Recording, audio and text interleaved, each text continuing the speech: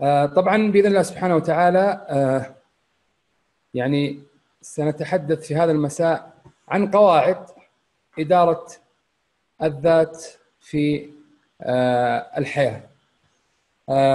سنتكلم عن مجموعة من القواعد وسأشرح بشكل عام وسنأخذ كل قاعدة على حدة بإذن الله سبحانه وتعالى. طبعا مقدم الدوره الدورة أخوكم رايد بن عايض القحطاني مدير إدارة الأنشطة الثقافية والاجتماعية بجامعه الملك خالد. آه، يعني آه، أحمل شهادتي بكالوريوس في الماجستير في علوم الحاسب الآلي وإدارة الأعمال والآن أحضر ماجستير في إدارة الأعمال ودعواتكم لأن ال final يعني قرب. ونسأل الله سبحانه وتعالى التيسير لنا ولكم جميعا. بإذن الله سبحانه وتعالى آه، سنأخذ عشر قواعد لإدارة الذات في الحياة. آه، وسنأخذ كل قاعدة ونأخذ عليها شيء من التمارين. آه، في بعض القواعد نأخذ عليها تمارين بعض القواعد سنأخذ يعني فيها بعض الأنشطة. الهدف اللي أنا أبغى أقول لكم إياه في نهاية هذا اللقاء اللقاء لن يكون يعني طويل. الحد الأعلى لنا ساعتين من الآن. والحد الأدنى إن شاء الله ساعة ونص نحاول نلم الموضوع بشكل بشكل كبير جدا. أمامي تحدي إني أختصر دون أن أخل بالموضوع بمفردات الموضوع. إحنا لما نتكلم الآن عن القواعد سنتكلم عن عشر قواعد آه، آه، بنذكر في كل قاعدة زي ما قلت لكم بعضها بنأخذ فيها تمارين بعضها بنأخذ فيها بعض الأنشطة آه، المهم وبعضها سنأخذ بعض الإرشادات في بعضها بقول لكم في كتب في مراجع نرجع لها ليس الهدف الآن إحنا نتعمق في كل قاعدة. كل قاعدة من هذه القواعد هي تلقى دورة مستقلة لوحدها. لكن اللي أنا أعدكم به في نهاية هذه الدورة بإذن الله سبحانه وتعالى نحن نحصل على عشر قواعد مرنة قابلة للتطبيق. خلاص؟ تحدث أثر في حياتنا تحدث أثر حقيقي آه، في حياتنا بإذن الله سبحانه وتعالى. آه، آه، ويعني سنأخذها بشكل يعني مختصر لكن اختصار غير غير مخل بإذن الله سبحانه وتعالى.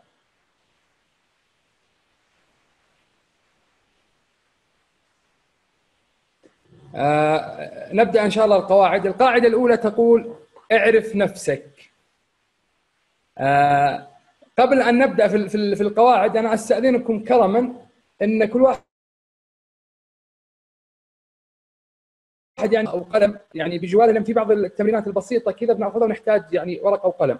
آه فأقل من دقيقة بس حضروا الورقة والقلم لأن إن شاء الله في النهاية بنخرج بمجموعة من الأشياء اللي اللي, اللي تفيدنا جميعا. طبعا ورقة مو ورقة واحدة يعني أوراق أو دفتر.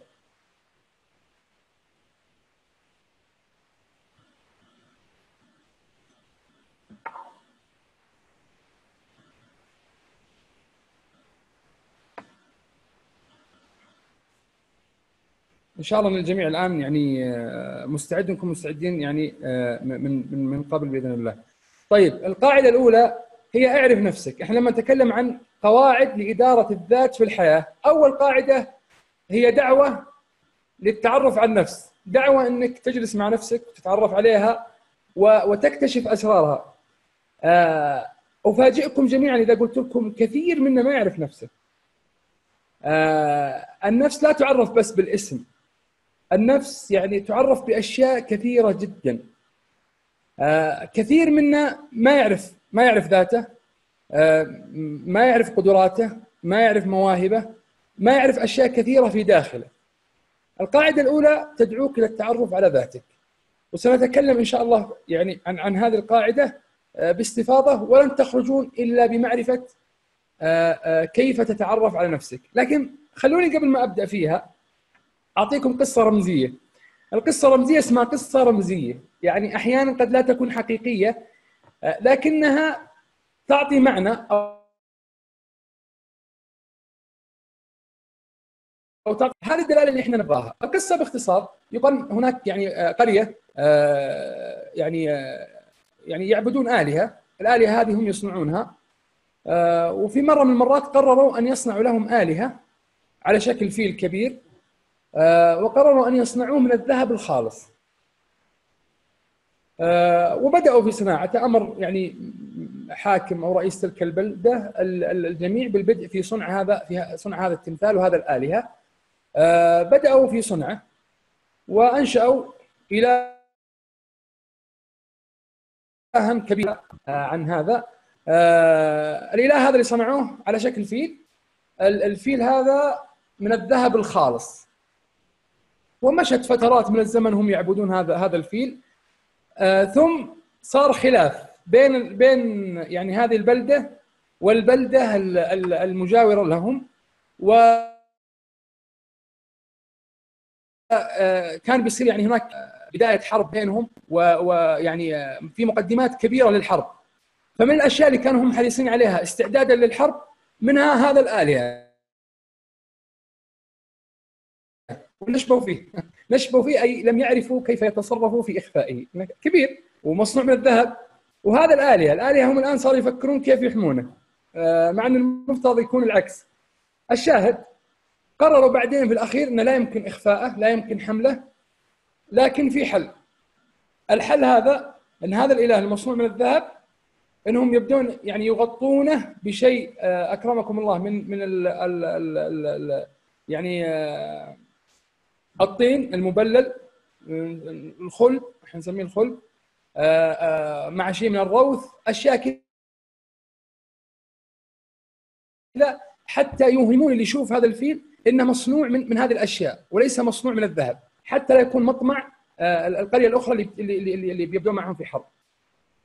آه، استمروا في إخفائها فترة طويلة جدا وتعاقب جيل بعد جيل حتى ظهرت أجيال تعتقد أن هذا الفيل فعلا مصنوع من الروث ومن من الطين. وأن ما هو مصنوع من الذهب. حدثت ظاهرة بدأت عندهم يعني آه، يعني الأمطار وكان من المتوقع للخبراء عندهم إنها ان ان إنها تهطل الأمطار بكمية كبيرة وإن ممكن يمر سيل كبير باتجاه هذا الفيل. يا هذا الفيل ليزعجهم طبعا هذا أي إلههم.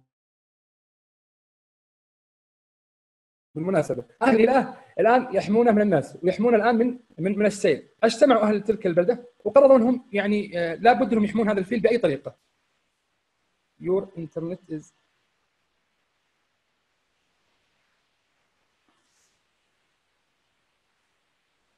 هل الجميع معي؟ لأنه يقول لي فصل. الجميع معي؟ اللي اللي يسمع يكتب واحد بس عشان تكون صورة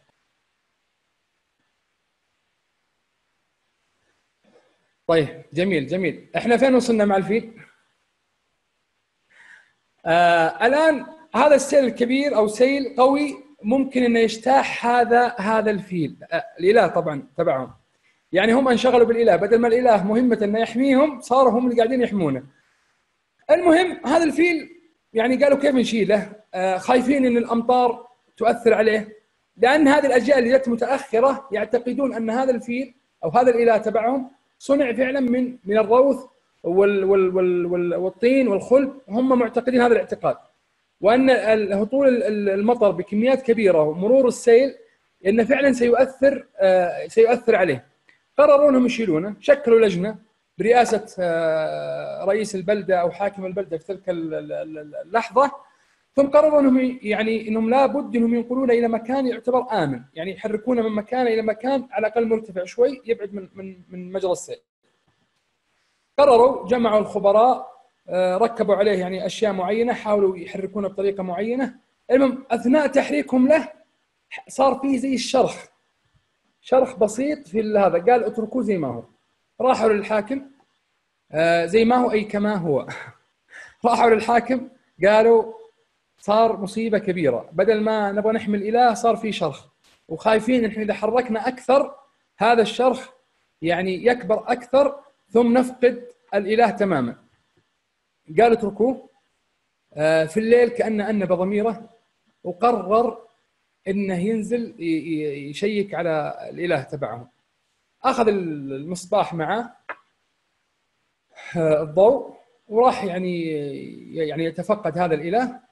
آه، ثم كان يقرب المصباح يعني آه، يقرب المصباح بقرب الشرخ هذا. يبغى يشوف يعني مدى تأثيره مدى حجمه كيف الإشكاليات اللي اللي, اللي صارت موجودة. فكان كل ما قرب الإنارة ال ال ال النور ينعكس له. يقرب المصباح النور قاعد ينعكس. الشرخ لما شرخ الشرخ آه اللي هو الوجه أو الطلاء الخارجي صار النور يعني آه في في المعدن مباشرة. آه وصار النور في انعكاس معين. قال مستحيل هذا الانعكاس يكون آه يعني من من طين أو من روث أكيد وراه شيء. قرر إنه يبدأ يكسر ويشوف. بدأ يكسر ويشوف إلا والله طلع ذهب. جمع الناس اللي حوله واللي كانوا مسؤولين عن هذا الأمر. بدأ يكسرون إلا والله طلع لهم هذا التمثال الكبير من الذهب الخالص. واكتشفوا بعد سنين أن هذا الإله لما صنع صنع فعلا من الذهب الخالص. أفاجئكم بشيء. القصة انتهت هنا. والمغزى كما قلت لكم في هذه القصة باختصار سريع. إيش تتوقعون الهدف؟ ونحن نتكلم عن اعرف ذاتك. سريعا.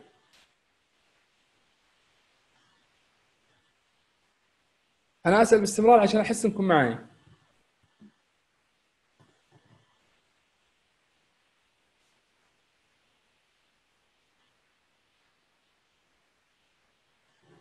إحنا قلنا هذه القصة الرمزية.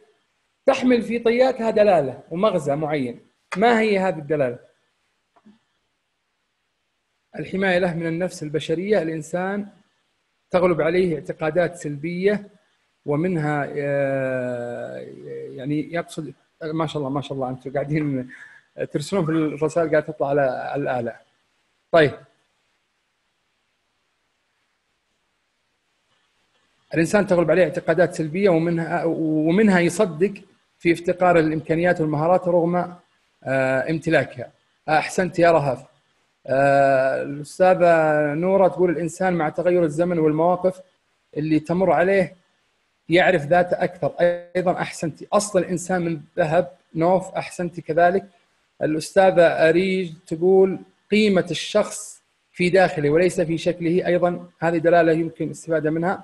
أخونا عبد العزيز يقول ذات الإنسان من ذهب صحيح. آه الأستاذة خيرية أن الإنسان هو يغير فكرته عن نفسه صحيح؟ آه الأستاذ فاضل لأنهم لا يعرفون قيمة الفيل الحقيقية واكتفوا بالمنظر الخارجي أحسن. آه أخونا سعد يقول قد تكون لا تعرف نفسك بشكل جيد تبحث عن نفسك جيدا ممتاز. أشكركم جميعا وأتمنى والله أقرأ آه، جميع جميع التعليقات. هذا هو المقصد. يا جماعة نحتاج أن نتعرف على ذواتنا بشكل كبير جدا. لما أقول لكم القاعدة الأساسية هنا هو أن تعرف ذاتك. القاعدة الأولى فعلا اعرف ذاتك. أنت من؟ إذا عرفت نفسك وعرفت قدراتك عرفت بالتالي كيف تحدد اتجاهاتك. عرفت بالتالي آه، هل أنت في المسار الصحيح أم في المسار الخطأ.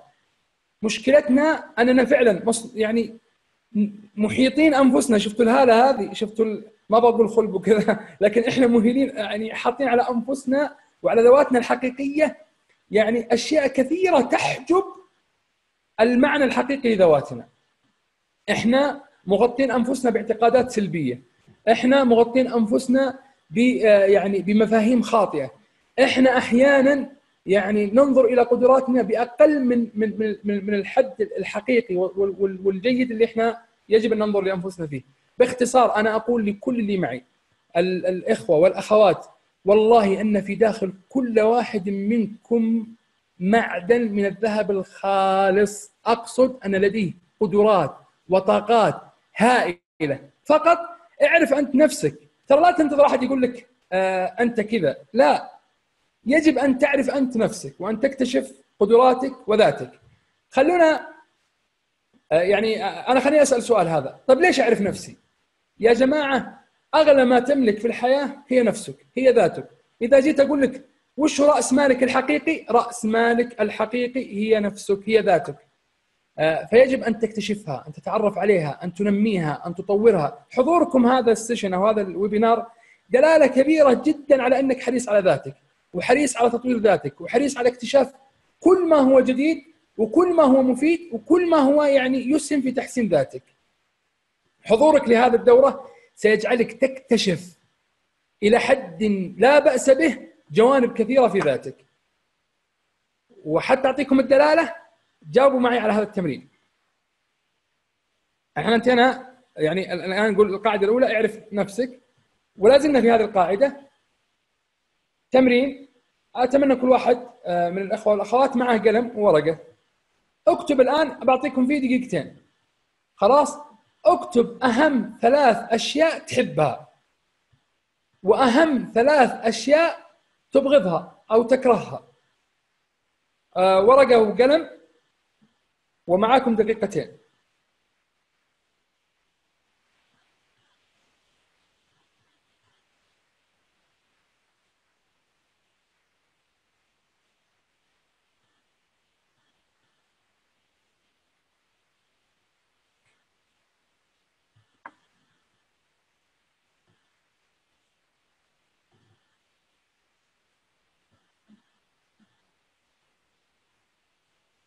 اكتب اهم ثلاث اشياء تحبها. انت أو انت ما هي اهم ثلاث اشياء انت آه، آه، يعني آه، تحبها؟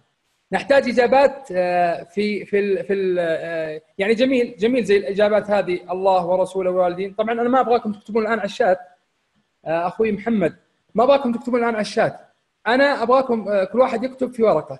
طبعا في أشياء بديهيات. إحنا نحب الله ونحب الرسول ونحب أنفسنا ونحب ذواتنا. لكن خليني أقول لكم أشياء عشان تعرف نفسك أكثر. مثلا قيدها مثلا بأشياء في العمل. أشياء أنت أنت يعني ترتبط بها أنت تمارسها. مثلا مثلا يعني آه تحب القراءة. خلاص؟ آه تحب الأعمال التنفيذية مثلا. آه, آه، خلونا في في هذا في هذا الاتجاه آه، تكون الأمور يعني أكثر. في مجال الهوايات في مجال المواهب.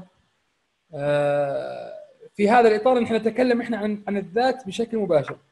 آه، اللي تعتبر قواسم مشتركة نحاول نحن نتجنبها قليلا.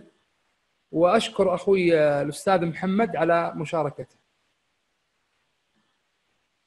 أي أنا أبغاكم تكتبون كل واحد يكتب في ورقة. باقي معنا دقيقة. ويعني نبدأ بإذن الله.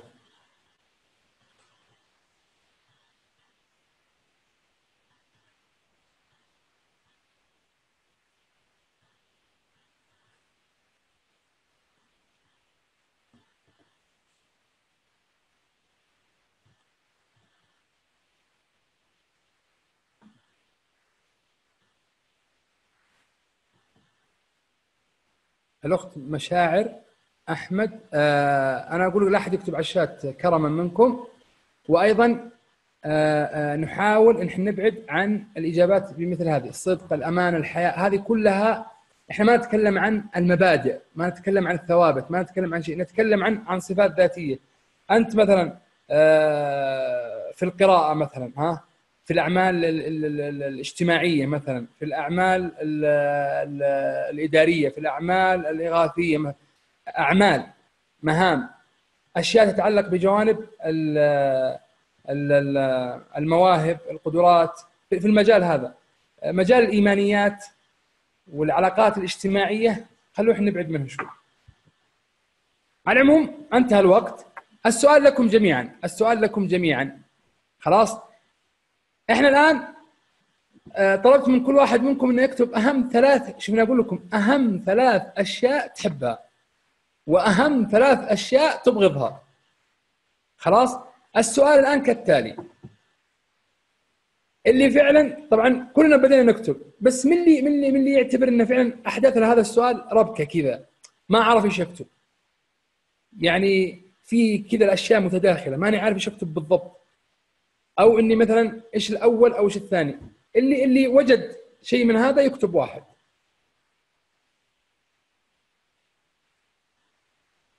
جميل. ها ها الأغلب الأغلب حقيقة وهذه كانت متوقعة. تدرون ليش؟ نحن لا نعرف ذواتنا بشكل يعني دقيق إلى حد كبير. إحنا الآن نتعلم نتدرب. مثل هذه الأسئلة تعطينا إن فعلا أيوه أنا أنا أنا أحب كذا أحب بس إيش الأولى؟ طب إيش الأهم؟ طب أنا إيش فين إيش احب إيش أكره؟ طب خلينا نعطيكم معلومة. خلاص؟ الآن كان عندنا قسمين. الأشياء اللي أنا أحبها والأشياء اللي أنا أكرهها أو أبغضها. خلاص؟ الأشياء اللي إحنا نحبها نعطيها رقم واحد بس لا تكتبون شيء انتظروا معي. الأشياء اللي إحنا نحبها هذا القسم نعطيه رقم واحد. الأشياء اللي إحنا نكرهها نعطيها رقم كم؟ رقم اثنين. السؤال الآن كالتالي. وين كانت الصعوبة في أكثر؟ إذا كانت الصعوبة عندك أكثر في جانب الأشياء اللي تحبها كان عندك صعوبة في إنك تكتب إيش تحب. اكتب لي الآن رقم واحد آه، في في الشات. إذا كانت الصعوبة عندك في يعني الصعوبه أكثر في الجوانب الأشياء اللي تكرهها اكتب رقم اثنين.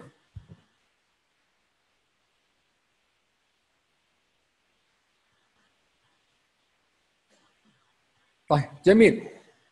غالبا هذا هذا الشيء هذا الشيء المتوقع. الشيء المتوقع الأشياء اللي إحنا نحبها إلى حد كبير دائما نعرفها. بس الأشياء اللي اللي اللي ما نحبها آه غالبا هي غير مستحضرة في أذهاننا بشكل كبير جدا. واحيانا إحنا نتحاشاها. واحيانا احس إيش أكتب؟ طبعا أنا هذا السؤال أول ما سئلته ما عرفت إيش أكتب. كتبت ما أحب الكورة. آه طيب إيش؟ واحد من الزملاء كتب ما أحب الطبخ. بدأنا نكتب أشياء كذا ما هي دقيقة من الأشياء اللي فعلا الواحد يعني مثلا يعني آه آه الأشياء اللي, اللي هو يحبها. باختصار هذا التمرين يعطينا دلالة إنه نحن لم نتعرف على أنفسنا بالشكل الكافي بعد. نحتاج إلى إن إحنا فعلا نرجع نعرف أنا ماذا أحب ماذا أكره. وليش هذا السؤال؟ ليش هذا السؤال؟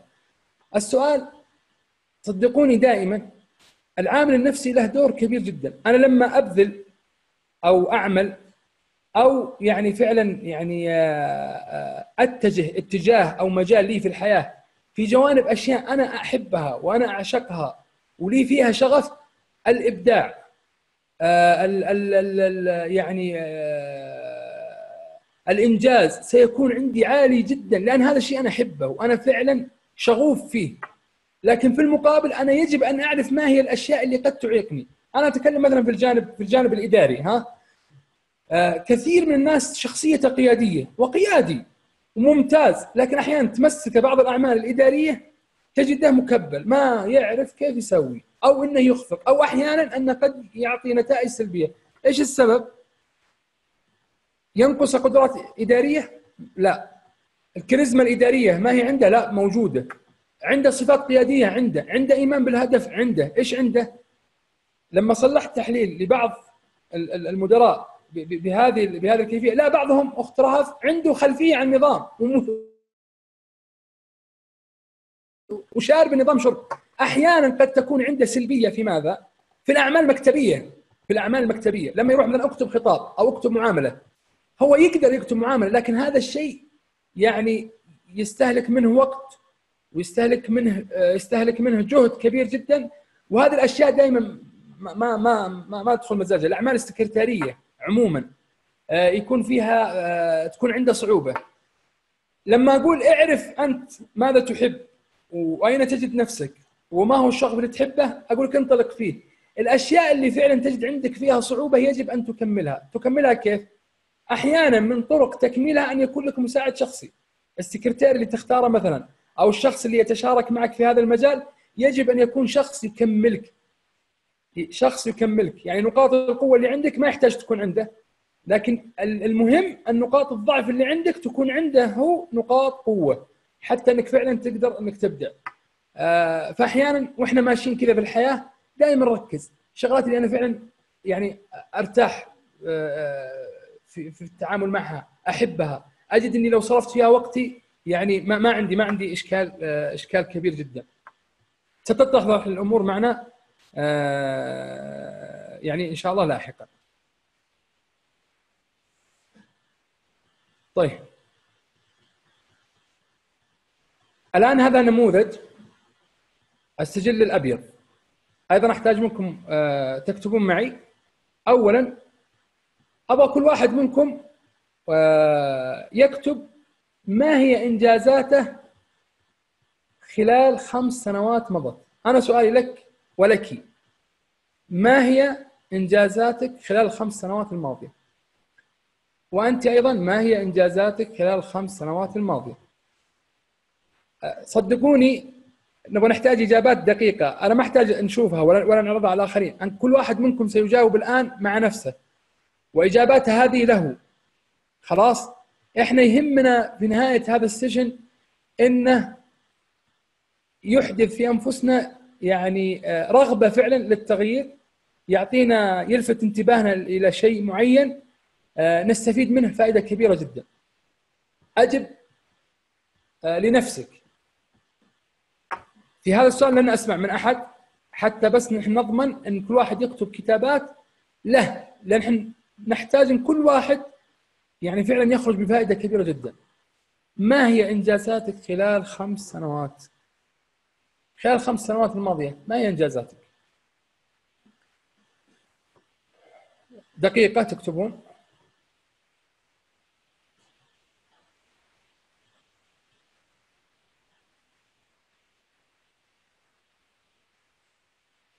السؤال الآخر معه.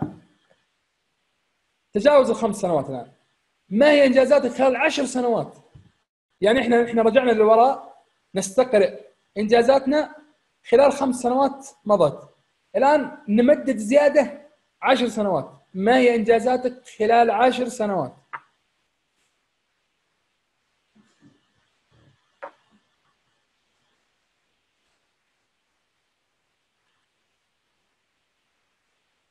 أي ما, ما هي مشكلة؟ أنا أقول الآن اكتب اللي حاضر في ذهنك. اكتب الآن اللي حاضر في ذهنك. يعني ما هي إنجازاتك خلال خمس سنوات؟ ما هي إنجازاتك خلال عشر سنوات مضت؟ أضيف لكم سؤال آخر. ما هي إنجازاتك خلال العمر السابق كله؟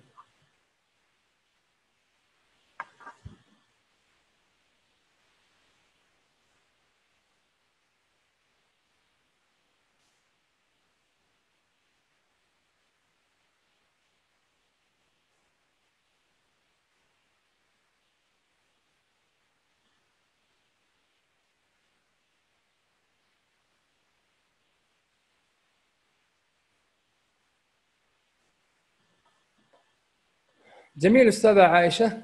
أنا أتمنى كل واحد يكتب يكتب آه، في ورقة آه، له. الأخت زهور تقول 15 سنة. إذا قصدك إن عمرك يعني 15 سنة قليل المدة. يعني ما هي إنجازاتك مثلا خلال ثلاث سنوات؟ خلاص. خلال كذا. يعني خلال 15 سنة إلى الآن ما هي الإنجازات؟ إذا إذا إذا كان سؤالي إذا إذا أني فهمت بهذه الطريقة.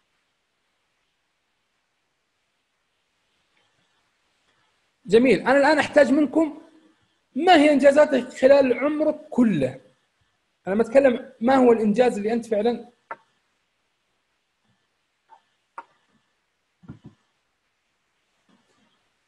آه الأستاذة نوف معلش هذه اللغة السلبية ما ما, ما نحبها.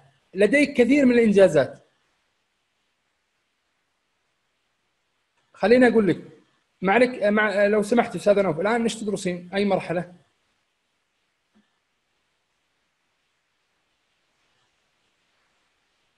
طيب الآن الجامعة. تخرجك من الثانوي هذا إنجاز.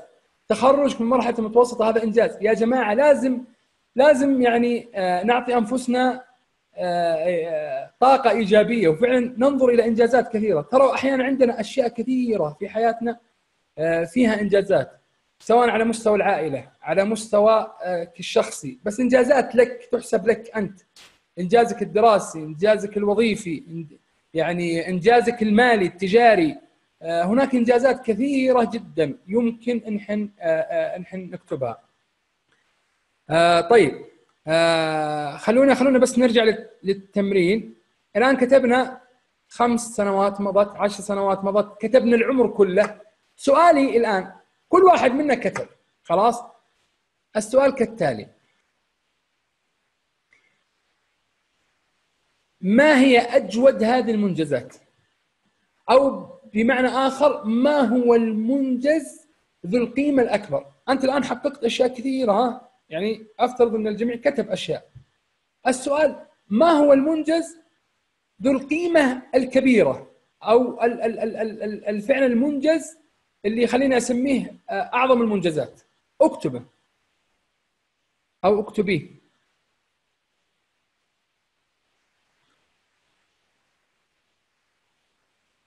طيب.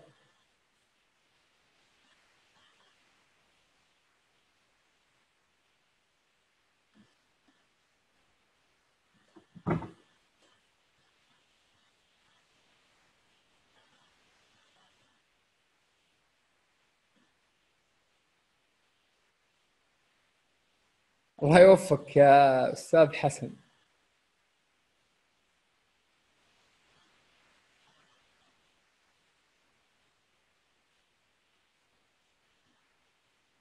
جميل. أستاذة عائشة الآن تقول توظفت أنا ما أعرف أي شيء في الكمبيوتر. خلال خمس سنوات يعني من يعني آه، والممارسة الحين كل الموظفين يلجؤون لي في أي شيء يتعثر عليهم بالكمبيوتر وهذا إنجاز عظيم.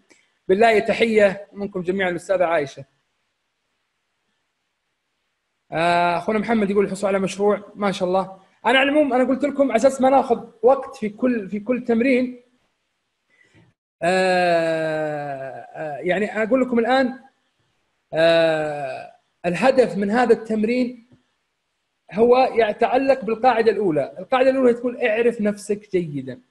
خلاص؟ اعرف نفسك ذكرنا إيش تحب إيش تكره. بعضنا وجد صعوبة بعضنا لا ما وجد صعوبة. آه ذكرنا الآن سجل المنجزات أو نسميه السجل الأبيض، سجلك أنت، ما هي منجزاتك؟ الآن أنت عايش خليني عمره 20 سنة أنت عايش 20 سنة، اللي عمره 30 أنت عايش 30، اللي عمره 15 عمرك 15 سنة. يجب أن تكون حياتك مليئة بالإنجازات. مو بس كذا يجب أن تعرف هذه الإنجازات. أنت الآن قاعد تكتب في سجل. سجلك أنت. لما ترى مثل هذه الأشياء أنت قاعد تتعرف على نفسك.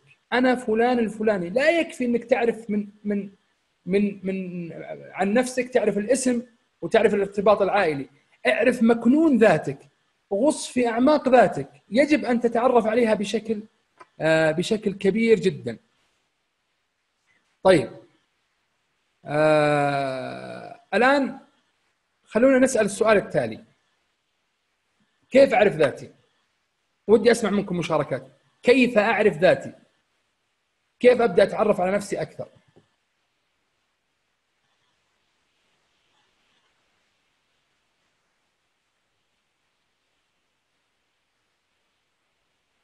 تحليل الشخصية من خلال التجارب ممتاز. أستاذ رهف استاذه نوره عن طريق التحدث مع الأشخاص.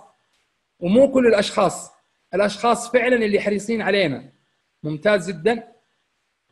بتأثيري على المجتمع اللي حولي محمد عبد العزيز بالاطلاع ممتاز. آه، أخونا أستاذ محمد الكعبي الخوض في العمل ممتاز. التجربة الاستاذه زهور بتقييمها آه، من قبل الآخرين. إيوه تقييم الذات من قبل الآخرين. ممتاز. الأستاذ محمد من خلال المحاسبه والجلوس مع الذات ممتاز جدا. الاستاذه أمجاد البحث ما شاء الله عليكم. آه آه قاعد تكتبون فما ما لحق معاكم كلكم. آه لأن الشات قاعد يطلع بشكل سريع. أستاذ أمجاد البحث في المجال المحبب بالنفس ممتاز. أستاذ سارة من خلال ما أحب وأكره وتطويرها من خلال تجارب الحياة أستاذ فاضل الأستاذة نادية مراقب الذاتي ممتاز. أستاذ نوف تجارب الحياة. أستاذ محمد الكعبي ياسر السالمي وليس محمد الكعبي. أشكرك. أه توقعت الاستاذ محمد أحمد سليمان. أه الأستاذة والله ما اعرف أقرأ الاسم المعذرة. أه الناس اللي أجلس معاهم وأحب أن أجلس معاهم عهود أظن عهود آه، محاسبة النفس آه، محمد سليمان الشهري الظروف آه، نوف معرفة الأثر في حياة الآخرين. جميل جدا جميل جدا. أشكركم جميعا على هذه على هذه المشاركات. خليني أختصرها بشكل سريع. كيف أعرف ذاتي؟ اولا اولا اولا. تعرف ذاتك من خلال ذاتك أنت. النبي صلى الله عليه وسلم إيش يقول؟ أو الله بل الإنسان على نفسه بصيرة ولو ارقى معاذيره كل إنسان هو أعرف بنفسه وأعرف بذاته وأعرف بنقاط ضعفه وقوته للإجابة على هذا السؤال كيف تعرف ذاتك؟ اولا من خلال ذاتك من خلال نفسك أنت اجلس واكتب ما هي نقاط قوتي؟ ما هي نقاط ضعفي؟ وكيف فرص التحسين؟ الأمر الآخر أنا أعرف ذاتي من خلال زي ما قلت من خلال الآخرين لكن ليس كل الآخرين من خلال الاخرين أول شيء ليعرفوني جيدا. الأمر الثاني حريصين علي حريصين على مصلحتي حريصين على تطويري. آه، وحريصين فعلا إني إني أقدم لهم آه، أو أو حريصين إن إنك فعلا تتطور وإنه يكون يعني لك أثر. فمن خلال هؤلاء اللي فعلا يعني محبين لك يتمنون لك الخير تعرف تعرف ذاتك. لأنه كثير من الشباب كان يسأل أشخاص آخرين فاحيانا يسأل ناس في, في من أقرانه. يحطمونه. آه، يذكرون الأشياء فعلا تعود عليه بشيء بشيء سلبي ليس بشيء إيجابي. الأمر الآخر آه، ذكرتوها جميعا آه، أو أغلبكم وخذون الأستاذ محمد الكعبي التجارب العمل. أحيانا جرب نفسك في أكثر من شغلة حتى يعني تعرف آه، قدراتك. هل أنت تصلح في هذا المجال ولا ما تصلح؟ الأمر الآخر برضه ذكر اللي هو من خلال الاختبارات. هناك اختبارات يعني مفيدة إلى حد كبير. بعضها تصل نتائج تقريبا 80% فعلا تحدد شخصيتك يعني الان لو دخلتوا أنتم على مدونة جاسم في مدونة في الإنترنت اسمها مدونة جاسم. اكتبوا اختبار تحليل الشخصية مدونة جاسم أو سموه اختبار ال MBTI هذا الاختبار يظهر 16 شخصية. أنت في النهاية أو أنت شخصيتك واحدة من هذه 16 شخصية. طبعا اختبار موجود إلكتروني وبالإمكان الاستفادة منه. آه، في اختبارات ثانية اللي هو تحليل الأنماط أو يسمونها الأن الأنماط التمثيلية اللي هي سمعي بصري حسي. آه، في مقياس هيرمان أيضا موجود على النت. لو كتبتوا مقياس هيرمان موجود الأسئلة وطريقة إجابتها وكيف تعبي الإجابة وكيف تكتشف شخصيتك اللي هي آه، يسمونها بوصلة التفكير. اين تكتشف بوصله التفكير؟ أنت فعلا يعني مخطط منفذ مبدع؟ يعني آه، لها تفاصيل معينة. بالمناسبة مقياس هيرمن هذه آه، يستخدمونها أحيانا في تحديد ما هو التخصص الدراسي المناسب لك. يعني الآن ظهرت دورات كثيرة كيف تختار تخصص كل جامعي يعتمدون بشكل كبير جدا على مقياس آه، على مقياس هيرمن. في نموذج آخر يسمونه ال DISC شخصيات D و I و C واللي هو ال DISC و D هذا أيضا يحدد يعتبر الشخصيات أربع شخصيات وكل شخصية لها تفاصيل معينة. كل هذا الأمر أنا قلت لكم كل قاعدة يحتاج لها دورة مستقلة. لكن أنا أعطيكم إشارات. أه وأقول لو دخلتوا على مدونة جاسم اختبار ال MBTI يكفي جدا. ستتفاجؤون أنه يتعرف على شخصيتك أه ويعطيك تحليل عنها تقريبا في ست صفحات. شخصيتك لا تخرج عن واحد من 16 شخصية. وهذه أيضا جيدة ومهمة. السؤال الآن واحد طلعت شخصيته كذا. أو أحسن من شخصية؟ الجواب لا. كل شخصية فيها إيجابيات وفيها وفيها سلبيات. طيب.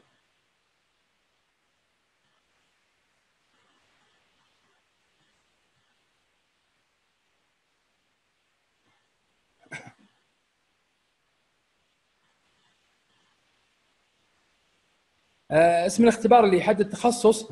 طبعا كل الاختبارات تعطي انطباع تعطي وظائف آه، تصلح لشخص معين.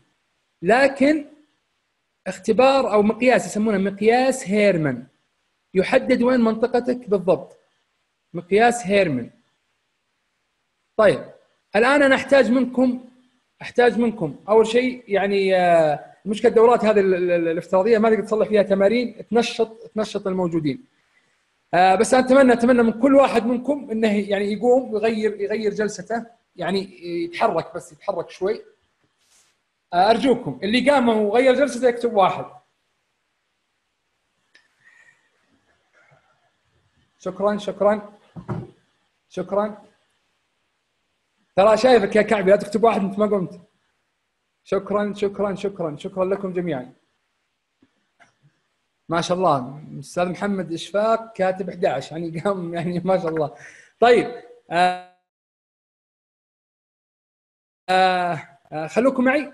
الآن أنا بشغل لكم مقطع فيديو. مقطع الفيديو هذا آه أتمنى أتمنى أتمنى. إذا حولك أي شوشرة أو أي إزعاج أو أي شيء معلش آه ركز تماما معي في هذا في هذا ال ال ال ال الفيديو.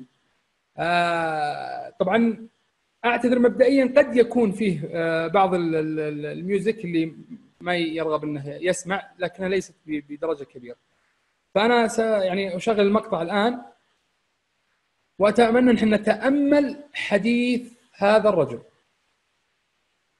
استاذنكم من الشات وخلونا نشوف المقطع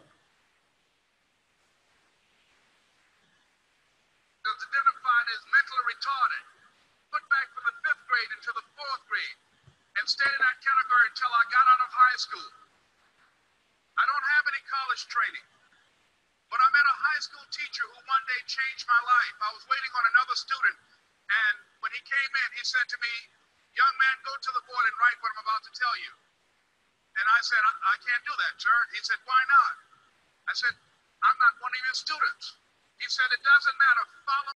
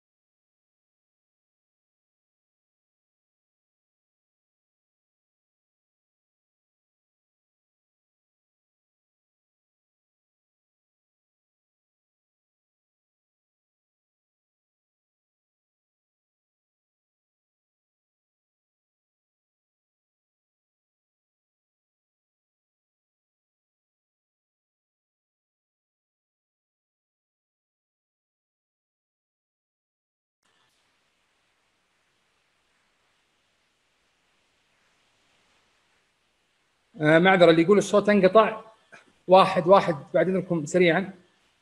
اللي الصوت انقطع عنده يكتب واحد اللي الصوت ما انقطع عنده يكتب اثنين. أوه. طيب الان الآن الصوت إذا الصوت وا... الصوت واضح اكتبوا اثنين اثنين. تبغون أعيده؟ إذا تبغون أعيده اكتبوا واحد.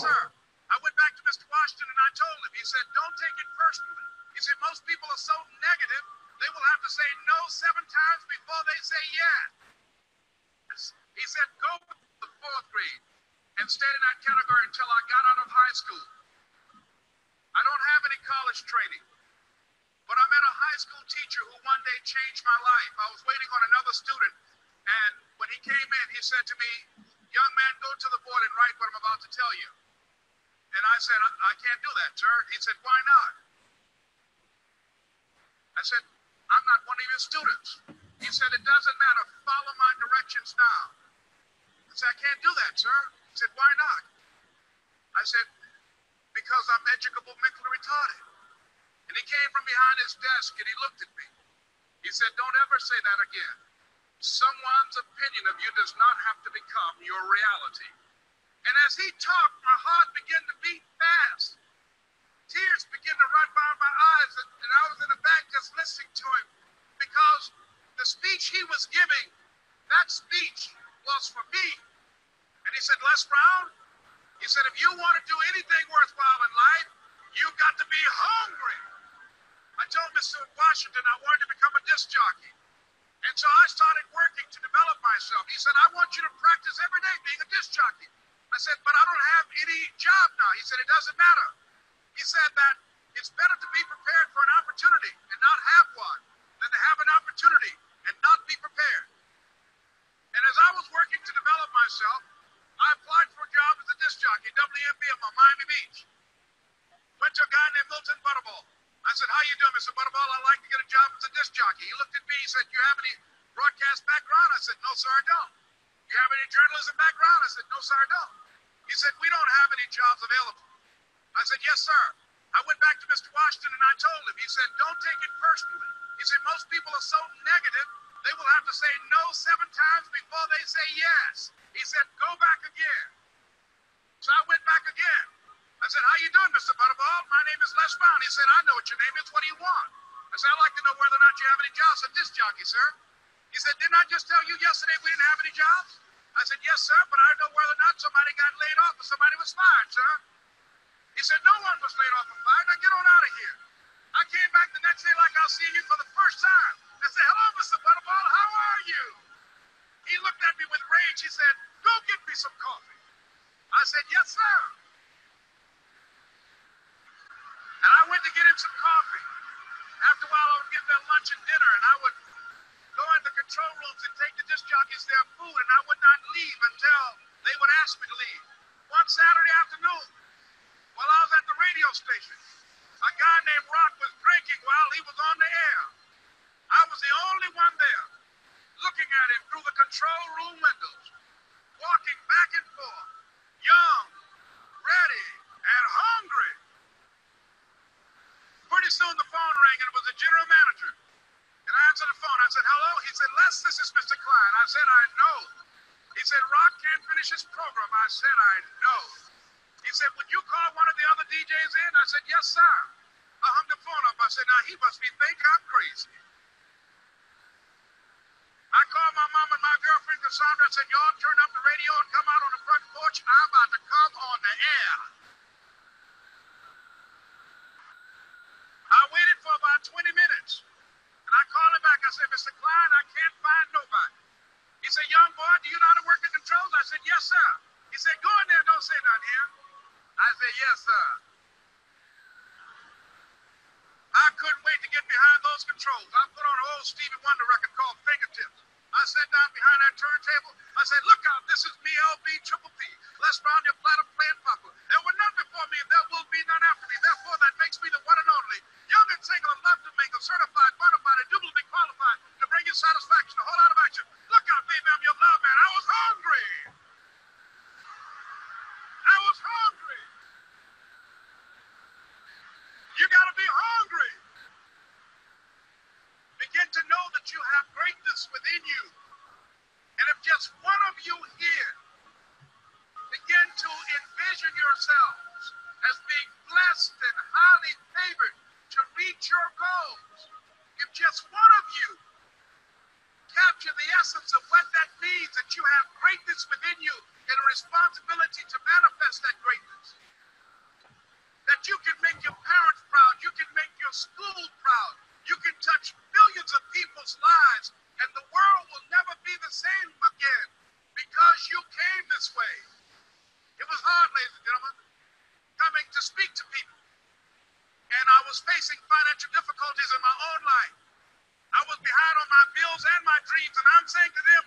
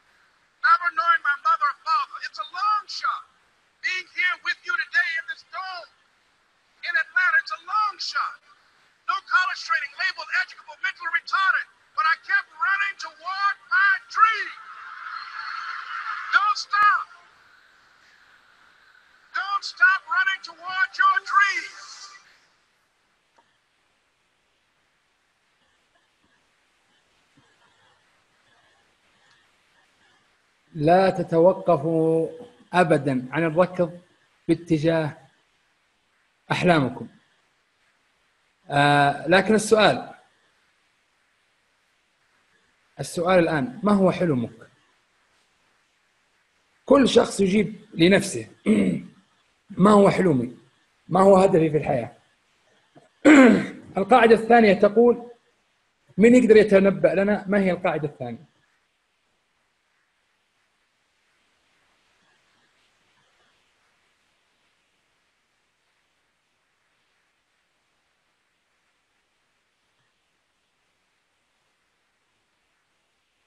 رهف هدف ممتاز. سعد لا تكن أسيرا للمحبطين الهدف ما هو هدفك في الحياة؟ جميل جدا. أشكركم جميعا. كيف تحقق حلمك؟ آه، أستاذ رقية كيف تحقق حلمك؟ لا تتنازل عن أحلامك أستاذة منال. ممتاز جدا منكم جميعا. أستأذنكم أن القاعدة هي حدد أهدافك بدقة. ما هي أهدافك؟ الأهداف ترى أنواع. في أهداف يسمونها أهداف استراتيجية. أهداف تحدد رؤيتك ورسالتك في الحياة. ما هي رؤيتك؟ ما هي رسالتك في الحياة؟ آه يعني آه تحديدها بدقة. تجعلك فعلا تنطلق نحو هدفك تستثمر كل طاقاتك كل مواهب وتحشدها في في في في في هذا الاتجاه.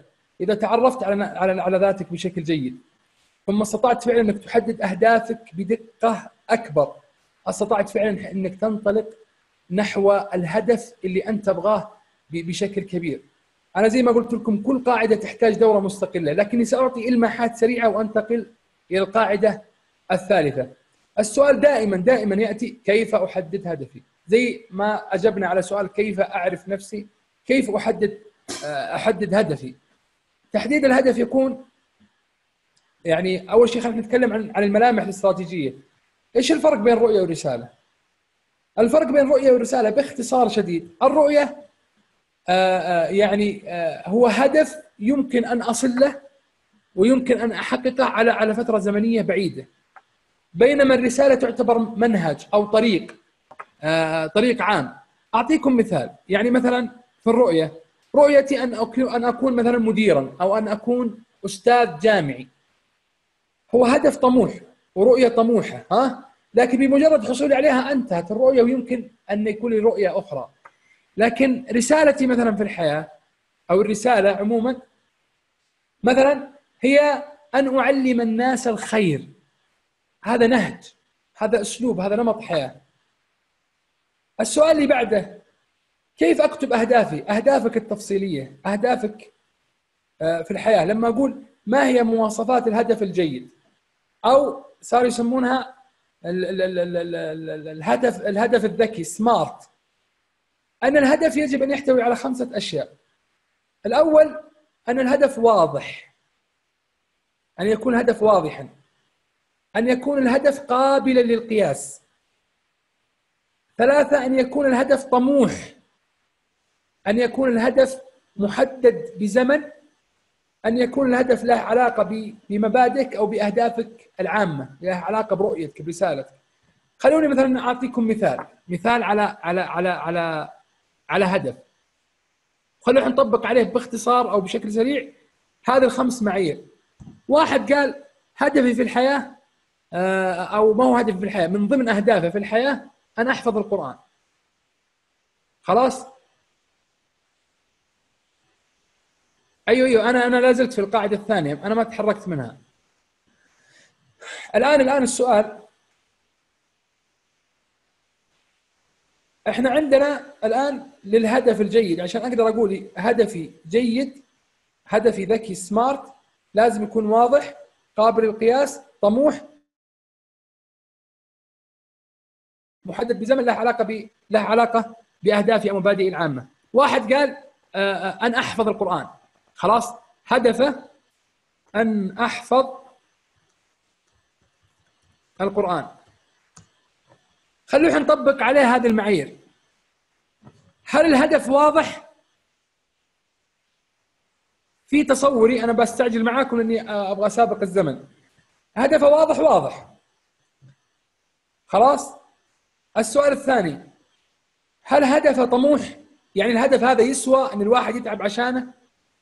طموح. ممتاز. هل هذا الهدف يمكن قياسه؟ نعم يمكن قياسه. في النهاية أنت حفظت ولا ما حفظت؟ ممتاز. السؤال هل له علاقة بأهدافك ومبادئك وقيمك أهدافك العليا؟ جدا. ها؟ ال ال ال الأخير هل هو محدد بزمن؟ أحسنتم؟ لا. أنا أحفظ القرآن. طيب متى؟ كل مسلم كل مسلم هدفه أن يحفظ القرآن. صح ولا لا؟ لكن لما يقول أن أحفظ القرآن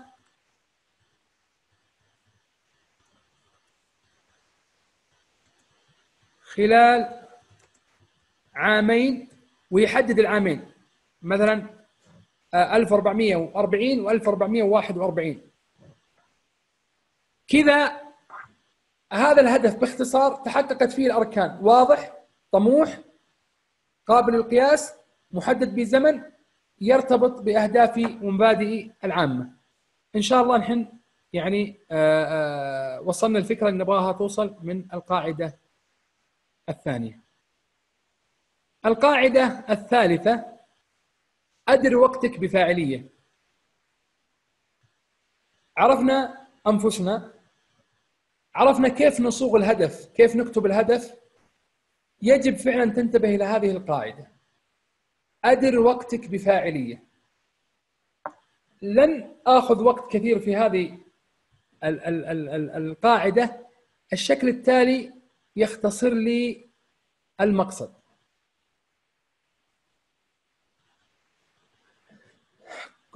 إحنا الآن نتعامل مع وقت الوقت اللي للملك ويدور فيها شؤون الدولة 24 ساعة في اليوم. الملك اللي لأقل شخص بدون أي اهتمامات 24 ساعة في اليوم. إحنا الآن لا ندير الوقت. أحيانا في في بعض اللي يهتمون بالمصطلحات يقول خطأ أنك تقول كيف أدير الوقت. الوقت ما يدار لأن الوقت هو يدير نفسه بنفسه. لكن أنت كيف تدير نفسك في ظل هذا الوقت؟ كيف تدير أعمالك أمورك داخل هذا الوقت؟ كل واحد منا عنده أعمال وعنده اهتمامات وعنده يعني أمور كثيرة يحتاج إنه ينجزها. آه لكن هل هي مرتبة؟ وعارفين إيش الأولى وش اللي ما هو الأولى وش اللي يجب فعلا أن اباشره بنفسي وش اللي يجب إني ما أباشر بنفسي وش اللي إيش الشيء اللي يجب أني أهمشه تماما من حياتي؟ هذه المصفوفة تسمى مصفوفة الأولويات. مصفوفة الأولويات إحنا عندنا هنا أنا ما أدري الماوس وأنا أحرك الماوس. الماوس يظهر معاكم اضغطوا رقم واحد.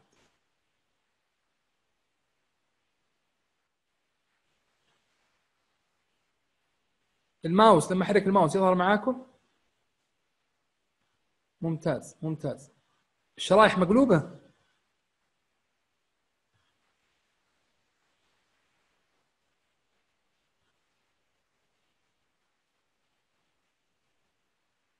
الآن السلايدات مضبوطة يا جماعة؟ مضبوطة واحد يعني دائما كلمة نعم واحد.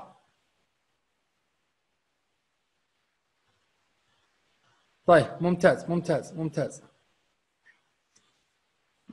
الآن مصفوفة الأولويات آه يعني الآن عندك أعمال كثيرة في حياتك عندك أعمال في الدوام عندك أعمال مثلا في الجامعة أو في المدرسة وعندك أعمال آه، أسرية وعندك أعمال مع أصدقائك وعندك أعمال آه، يمكن بزنس أو تجارات عندك أعمال في مهام كيف ترتبها وتحط لها أولوية.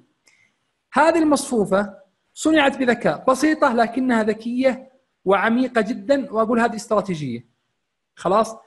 عندك أشياء يعني لما تجي تحط الأمور اللي عندك ترتبها في شيء عاجل. عاجل يعني يجب أن ينجز الآن وفورا ولا يقبل التأخير. وفي شيء غير عاجل. غير عاجل معناه أنه يمكن يعني آه، تأخيره والبدء آه، يعني أو تنفيذه في في آه، في فترات أخرى. يعني ليس طارئ الآن. وعندنا تصنيف ثاني اللي هو هام وغير هام. هام وغير هام. رجعت المشكلة الشرائح اختفت. الآن الشرايح أنا شغالة معايا. شغالة مع الجميع يا شباب وأخوات.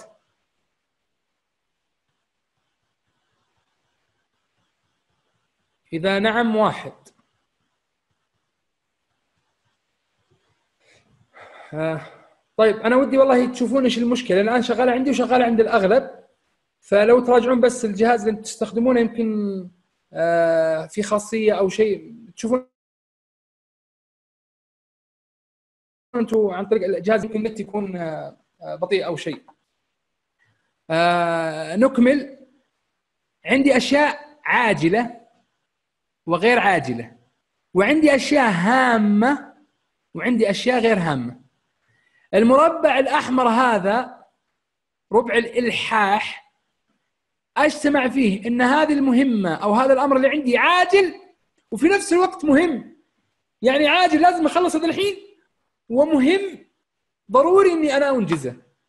فهذا مربع الإلحاح التعامل معه كما تتعامل يسمونه أحيانا سياسة أو استراتيجية الطوارئ. أنجز فورا. أنجز الآن. عمل ملح. أنجز الآن. خلاص؟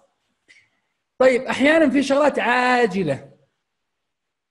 خلاص؟ شغلات عاجلة. يعني موعدها الآن لكنها في المقابل غير مهمة. خلاص؟ يعني آه، أعطوني مثال على شيء عاجل بس إنه ما مهم. مربع الخداع. بالمناسبة هذا المربع أكثرنا هنا أكثرنا في هذا المربع. شيء عاجل بس ما هو مهم.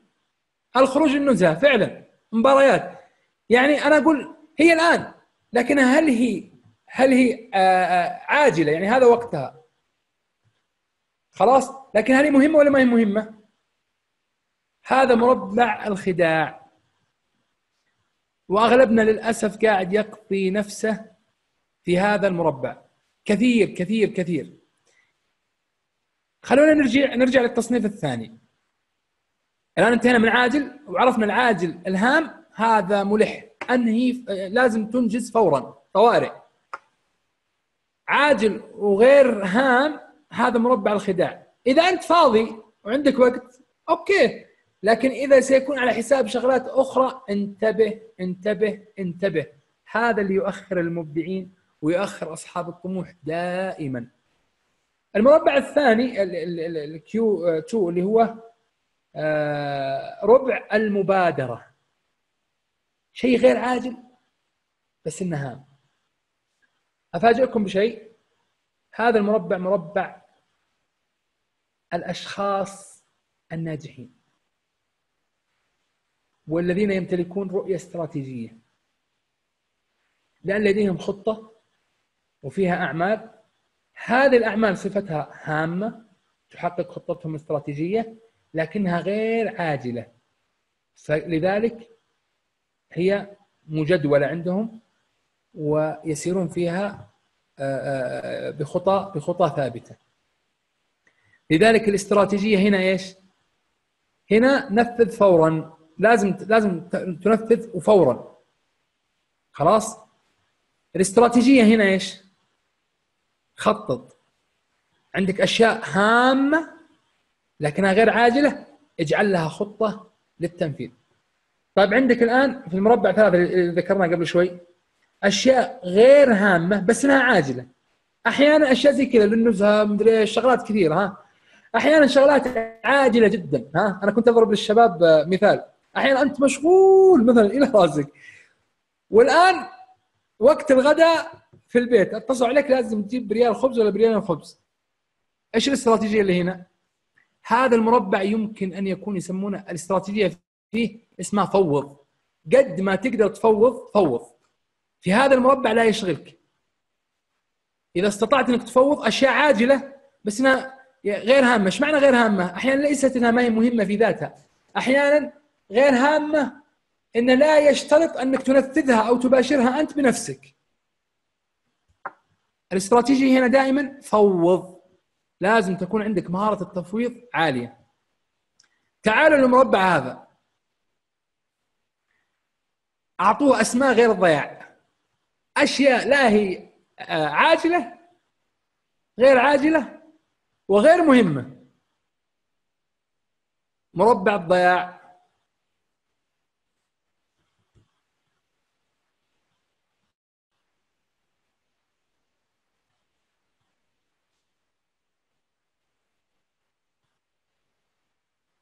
مربع الضياع هذا السياسة أو الاستراتيجية فيها إيش؟ أهمل أو أترك خلاص؟ يعني لما نقول مثلا مربع الإلحاح، مربع طوارئ، شيء عاجل وهام مثل الأمور مثل امور الطوارئ، أمور الإسعافات، إصابة، آه، مشكلة، آه، في العمل معاملة مهمة مرتبطة بحدث بحدث طارئ. خلاص؟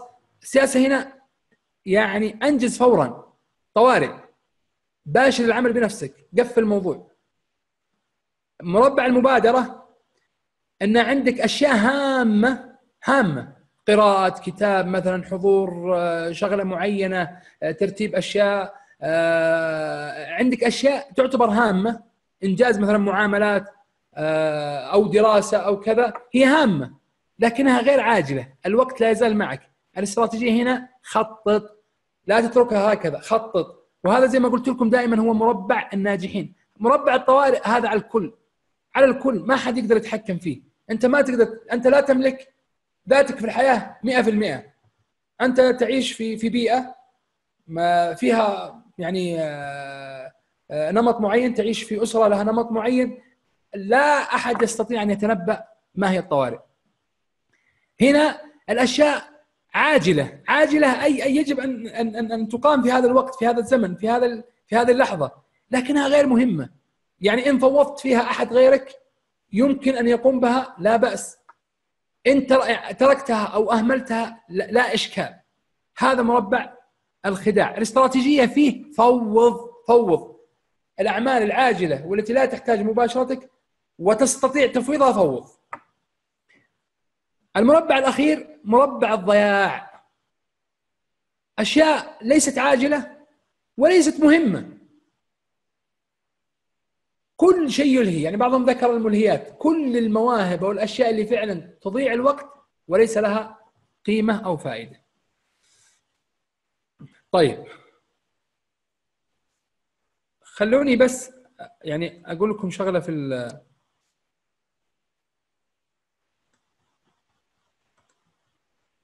يعني الآن من الأشياء وإحنا في إدارة الوقت الأشياء في إدارة الوقت.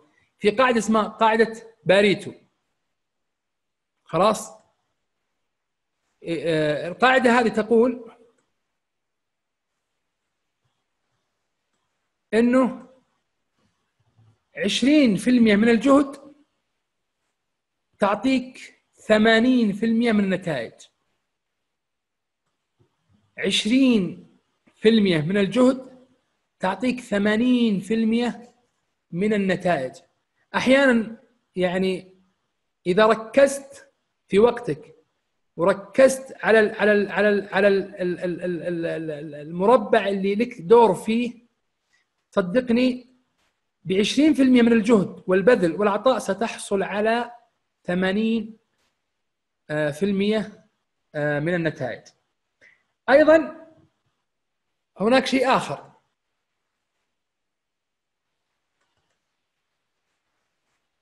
دائرة التأثير.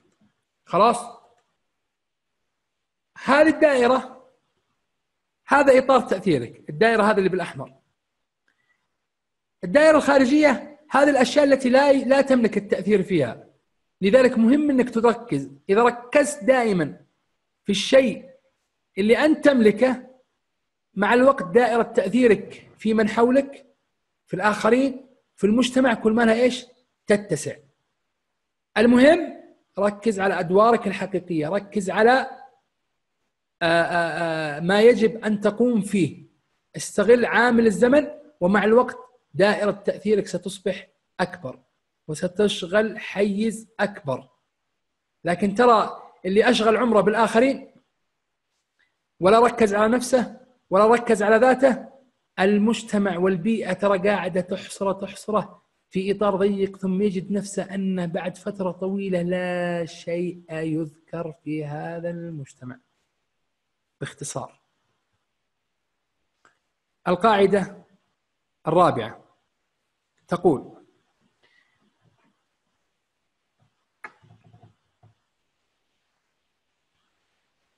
تعامل مع الآخرين بذكاء. أنا الوقت قاعد يمشي أستأذنكم أنني س آه، أحاول أني آه، آه، يعني أمشي بشكل سريع على أساس أنهي أغلب المتطلبات ثم أترك مجال لل- للأسئلة عموما. القاعدة الرابعة تعامل مع الآخرين بذكاء. الإنسان مدني بطبعه. لما أقول تعامل مع الآخرين بذكاء آه، فهذا أن كل إنسان عايش في بيئة كل إنسان يعني يقوم بدور محدد بدور معين. أنت في النهاية لا تستطيع أن تنفك من بيئتك من من من آه، من بيئتك اللي هي عائلتك أبوك أمك إخوانك أصدقائك عيال جيرانك آه، زملائك في الجامعة زميلاتك في الجامعة زملائك الموظفين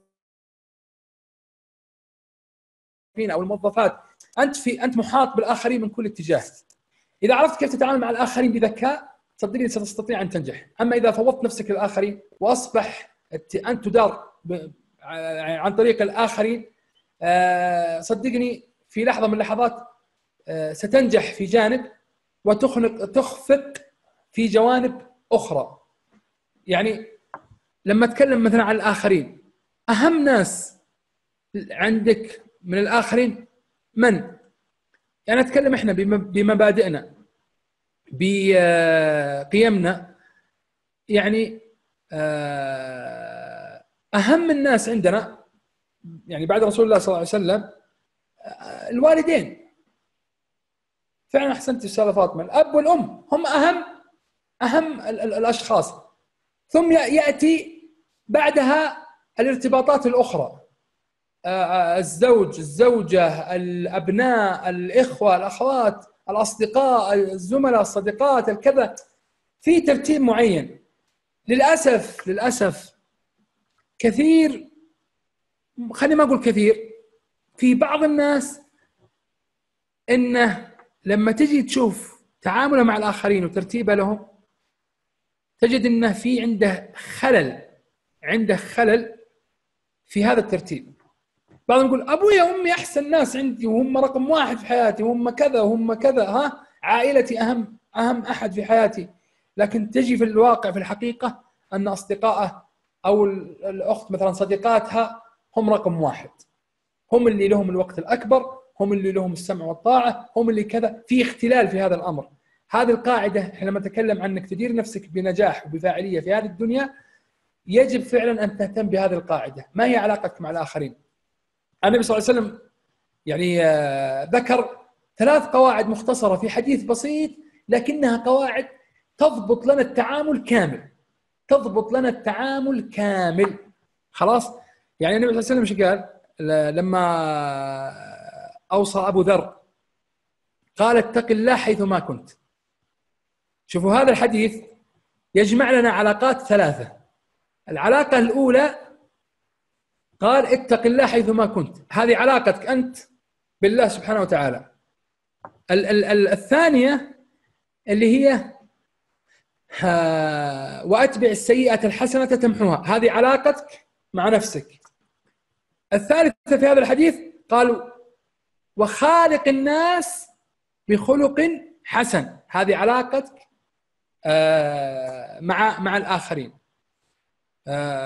وفي كلام يعني آه، كثير في هذا ال- المجال. لكن خلوني أعطيكم تمرين. هذا التمرين أتمنى بس من الجميع إنه آه، يأخذ ورقة وقلم ويكتب هذا التمرين. التمرين هذا عندي مهم جدا جدا جدا. ولو ما خرجنا من هذه الأمسية إلا بهذا التمرين أنا بالنسبة لي يكفي وباقتدار.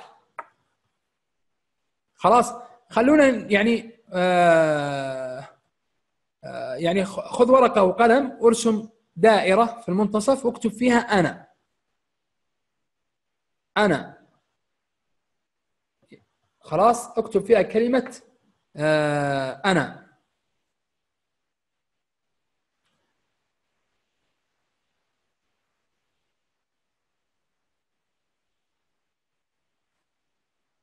يعني تصير بهذه الصورة. أنا ثم باك تكتب يعني تطلع سهم وتحط دائرة وتكتب الأشياء اللي بقول لك عليها الآن. الآن ال- الإخوة والأخوات جميعا كل واحد منا يقوم بأدوار في الحياة. أكتب أنا. خلاص؟ أنا ماذا؟ ما هو أدواري في الحياة؟ عندي دور أنا عابد لله صح؟ عندي دور أنا ابن. أنا ابن. لي اب وأم سواء أحياء الله يمتعهم بالصحة والعافية أو أموات. أنا في النهاية هذا الدور هذا دور. دور من أدواري في الحياة أني ابن. اكتبوا معايا وكل واحد يكتب الأدوار اللي له. في دور من الأدوار في حياتي مثلا أني أخ أو أخت. خلاص؟ أخ أو أخت. في دور في حياتي إني مثلا موظف أو موظفة. خلاص؟ في دور مثلا من الأدوار في حياتي إني مثلا آه، آه، طالب أو طالبة. في دور مثلا في حياتي إني تاجر عندي أعمال تجارية. خلاص؟ آه مثل إيش؟ أعطونا أدوار. اكتب دور. أيوه صديق. هذا دور. ممتاز. دور من ادواري في الحياة إني صديق مثلا.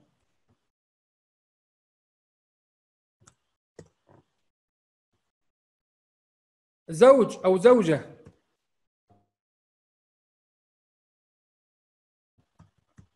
ها مثال. أم أو أب. ممتاز. ما شاء الله حفيده ممتاز. خلي إحنا مثلا تدخل في ال ال ال الأب والأم وما على والابن والبنت و... و... أيوه ذكرناها. صديق أو صديقة. جميل. خلونا بس أعطيكم بس الفكرة الفكرة وعاد كل واحد هذا التمرين ضروري يسويه يسويه لوحده. خلاص؟ آه أنا مثلا خلينا نكتب آه مثلا من الأدوار آه أحسنت مساعدة الناس وقت الحاجة. متطوع متطوع أو متطوعة. خلاص؟ خلونا نكتفي بهذا القدر. أصبحت عندنا هذه الأشياء ها؟ هذه الأشياء يعني أنا هنا وهذه أدواري في الحياة. ضروري كل واحد يكتب يكتب هذا التمرين ويصلحه مع نفسه. ويعطيه وقت ويقفل جواله ولا ينشغل بأحد. الإخوة والأخوات جميعا لو ما خرجنا من هذه الأمسية إلا بهذا التمرين أنا بالنسبة لي يكفيني جدا يكفيني جدا. خلاص؟ اكتب أدوارك في الحياة. ضبطها كذا على الوورد بورقة وقلم براحتك. نسقها زي ما تبغى حط لها ألوان حط لها أشكال براحتك. أنا يهمني المضمون يهمني المضمون في في في, في النهاية. إنه هذا أنت ومحاط بعدة أدوار.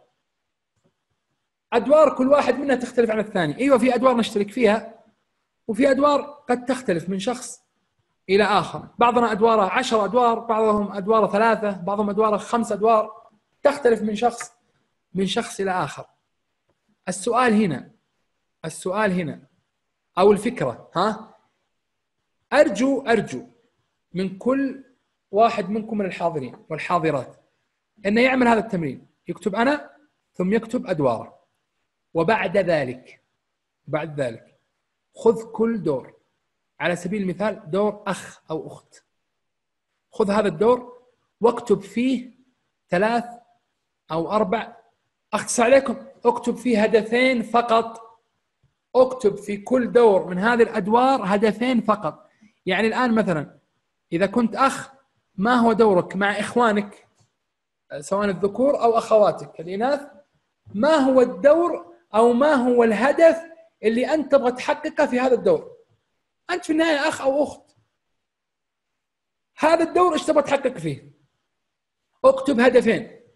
الهدفين هذه وفق الهد... تذكرون الهدف اللي كتبناه؟ طموح وقابل القياس وك... أهداف واضحة. خلاص؟ أنت كابن أهداف لوالدينك سواء كانوا أحياء فأسأل الله سبحانه وتعالى أن يمتع والدينا ووالديكم بالصحة والعافية وعمرا طويلا مديدا. ومن كان ميتا فأسأل الله الذي لا إله إلا هو ولا رب سواه أن ينزل عليهم في هذه الساعة وفي هذه اللحظة ينزل على قبورهم رحمة وبركة وأنسا وسعادة. قولوا آمين. آه الآن في هذا في في في في دور مثلا ابن آبائك أحياء أو أموات. ما هو الهدف؟ اكتب هدفين تريد تحقيقها في هذا الهدف. متطوع اكتب دورين أو هدفين تبغى تحققها. خليني أقول لكم لو واحد عنده عشرة أدوار لو واحد عنده عشرة أدوار في حياته وكتب كتب لكل هدف لكل دور هدفين كم يصير عنده هدف؟ ممتاز. يصير عنده عشرين هدف. هذا شخص عظيم ولا مو عظيم يا جماعة؟ هذا شخص عظيم جدا. لديك تمتلك عشرين هدف حتى تحقق النجاح بشكل متوازن في عشرين في عشرة أدوار. أنت تمتلك الآن عشرين هدف. ها؟ باختصار خذ من كل هذه العشرين قسمها عشر أهداف حققها خلال ستة شهور. الأولى العشر أهداف الثانية حققها خلال الستة شهور الثانية. بهذه الطريقة أصبح عندك خطة ذاتية متكاملة الأركان تجعل منك شخص مبدع وناجح في كل علاقاتك وكل جوانبك. صح ولا لا؟ ببساطة ببساطة أنت تستطيع بهذه الطريقة هو أن تكتب خطتك لمدة سنة لمدة سنتين أو فاجئكم أكثر تستطيع أن تكتب خطتك الاستراتيجية. أنت لما تجي في كل هدف وتكتب ماذا تريد أن تكون بعد خمس سنوات وتكتبها وتقسمها على السنوات يعني مثلا دور ابن أقدر أحط لي خمسة أهداف أحط لي 10 أهداف لا مانع. بس أنا يا جماعة أقول لكم في البداية ابدأ ببساطة. حتى تتملك هذه المهارة ثم انطلق. بهذا التمرين إذا سويته بهذه الطريقة فأنا يعني أرفع لكم القبعة. وأصفق لكم التحية وأهنئكم جميعا. أقول أنت امتلكت خطة ذاتية متكاملة الأركان من صنعك أنت سترى بركتها. لو كل سنة أنت قاعد تسوي كذا إذا طلع لك دور جديد يعني مثلا آه لسه تزوجت هذا طلع لك دور الزواج زوج أو زوجة تو طلع. صار عندك أبناء طلع لك دور ثاني أب أو أم. والحياة كل ما تقدم بك السن كل ما زادت عندك الأدوار تستطيع أن تضبطها وأن تحقق فيها النجاح بتكامل انطلقوا فالمجال يعني أمامكم فسيح للإبداع والنجاح وصل لكم التوفيق. طيب. آه هذه أدوارك في الحياة نفس الفكرة زوج موظف نفس الفكرة. طيب. القاعدة الخامسة تكون تقول كن واثقا. كن واثقا. أول شيء ثق في الله سبحانه وتعالى. ثم ثق في قدراتك. لا تترك نفسك للآخرين. يقولون دائما الذي يترك نفسه للآخرين مثل الذي يدخل غرفة مليئة بالمرايا المحدبة والمقعرة. بالله تخيل نفسك أو تخيل نفسك. الآن داخل غرفة الغرفة هذه مليانة مرايا. مرآة محدبة ومرآة مقعرة ومرآة كذا. إذا دخلت هذه الغرفة في كل ما اتجهت مكان ستجد شكلك بشكل مختلف تماما. خلاص؟ آه إذا إذا حكمت الآخرين إنهم ينظرون لك ويتحكمون فيك و و وليس عندك ثقة في ذاتك صدقني أن مثلك مثل هذا اللي يدخل في هذه الغرفة ذات المرايا المختلفة أينما اتجهت لا تنظر إلى نفسك بالطريقة أو بالنظرة الصحيحة. خلاص؟ آه الأمر الثاني تعامل مع الفتور بذكاء. آه الإخوة والأخوات كم واحد منا بدأ في أشياء وقرر إنه يتغير وينطلق في مسار ايا كان هذا الشيء اللي يبغى يتغير فيه. ثم بدأ بحماس وانطلق بعد فترة ضعف فتر ترك الشغلة هذه. اللي قد مر عليه الموقف هذا يكتب واحد. خلاص وأي واحد منكم يكتب بدلي واحد. كلنا مرينا بهذا بهذا بهذا الأمر. كم واحد منا مثلا تحمس ونزل المكتبة وشرى كتاب وبدأ يقرأ ومعاه الهايلايت ويلخص كذا في البداية. واخونا أو أختنا ما شاء الله يعني قرأوا أول 20 صفحة ولا آه ما أدري كم. وعاد الكتاب يسمعهم. خلاص يعني يشوفونها في المكتبة كذا يمرون عليه السلام عليكم. طيب اقرا كمل يا السلام عليكم. هذا الموقف مر عليكم؟ مليون في المية مر علينا جميعا ومشاريع أخرى. آه، أحيانا بعضهم يمتلك صفة أو سلوك سيء حاب إنه يغير منه يترك هذا السلوك يتجه لسلوك جيد. آه، يبدأ بعد فترة يضعف. تدرون إيش مشكلتنا؟ المشكلة الحقيقية أننا لا نتعامل مع الفتور بطريقة طبيعية. يا جماعة مع ذواتنا إحنا بشر في النهاية. يمر علينا فتور. أي عمل جاد له حماس في البداية ثم نمر بمراحل فتور. المشكلة ليست في ابتداء العمل. المشكلة كيف نتعامل مع هذا الفتور. كيف نتعامل مع هذا الفتور هذا الملل. آه، النداء الذي يدعونا في داخلنا إلى ترك هذا الأمر. النفس بطبيعتها تحب الدعه تحب الشيء السهل البسيط. لذلك سبحان الله يعني آه، النبي صلى الله عليه وسلم إيش يقول؟ صلوا عليه طبعا آه، إيش يقول النبي صلى الله عليه وسلم؟ يقول حفت الجنة شوفوا الجنة شيء كبير وطموح عالي جدا قال حفت الجنة بإيش؟ في المكاره وحفت النار بماذا؟ بالشهوات خلينا نضرب لكم مثال من واقع الجامعة خلاص مثال من واقع الجامعة اللي يبغى ال A طبعا بطريقة شرعية بدون غش بدون أي شيء ها؟ اللي يبغى ال A صعب المنال يعني يحتاج إنه يتعب ويحضر ويلخص ويذاكر عمل شاق حتى إنه يحصل على هذا ال grade بينما اللي قرر إنه يحصل على ال F إيش العمل اللي لازم يسويه؟ ما هو العمل الشاق اللي بيسويه؟ ما في شيء. ما في شيء. يكبر راسه وانتهينا. لذلك اللي اللي يريد أن يصنع فرق يجب أن نعرف أن سنة الله في الكون أن أي شيء ذو قيمة له ثمن. لن تبلغ المجد حتى تلعق ليش؟ صبرا. لابد من الصبر والمثابرة.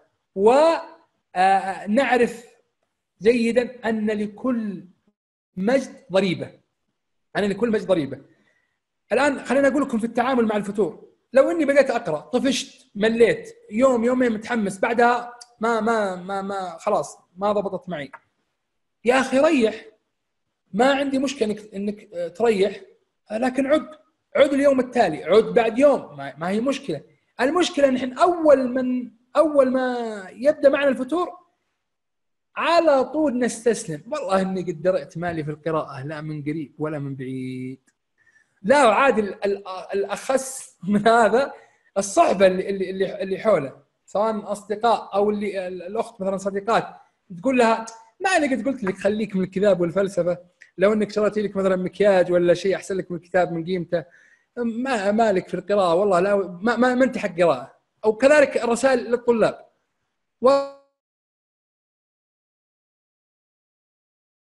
والله يعني مصلح لي فيها مثقف انت وجهي هذه هذه العبارات اللي دائما نسمعها ترى تسبب إحباط وتسبب تأخر. بينما لو أنا إذا فترت لا لا لا يمنع أني أستريح استراحة محارب ثم أعود. أنا أعطيكم مثال بسيط جدا.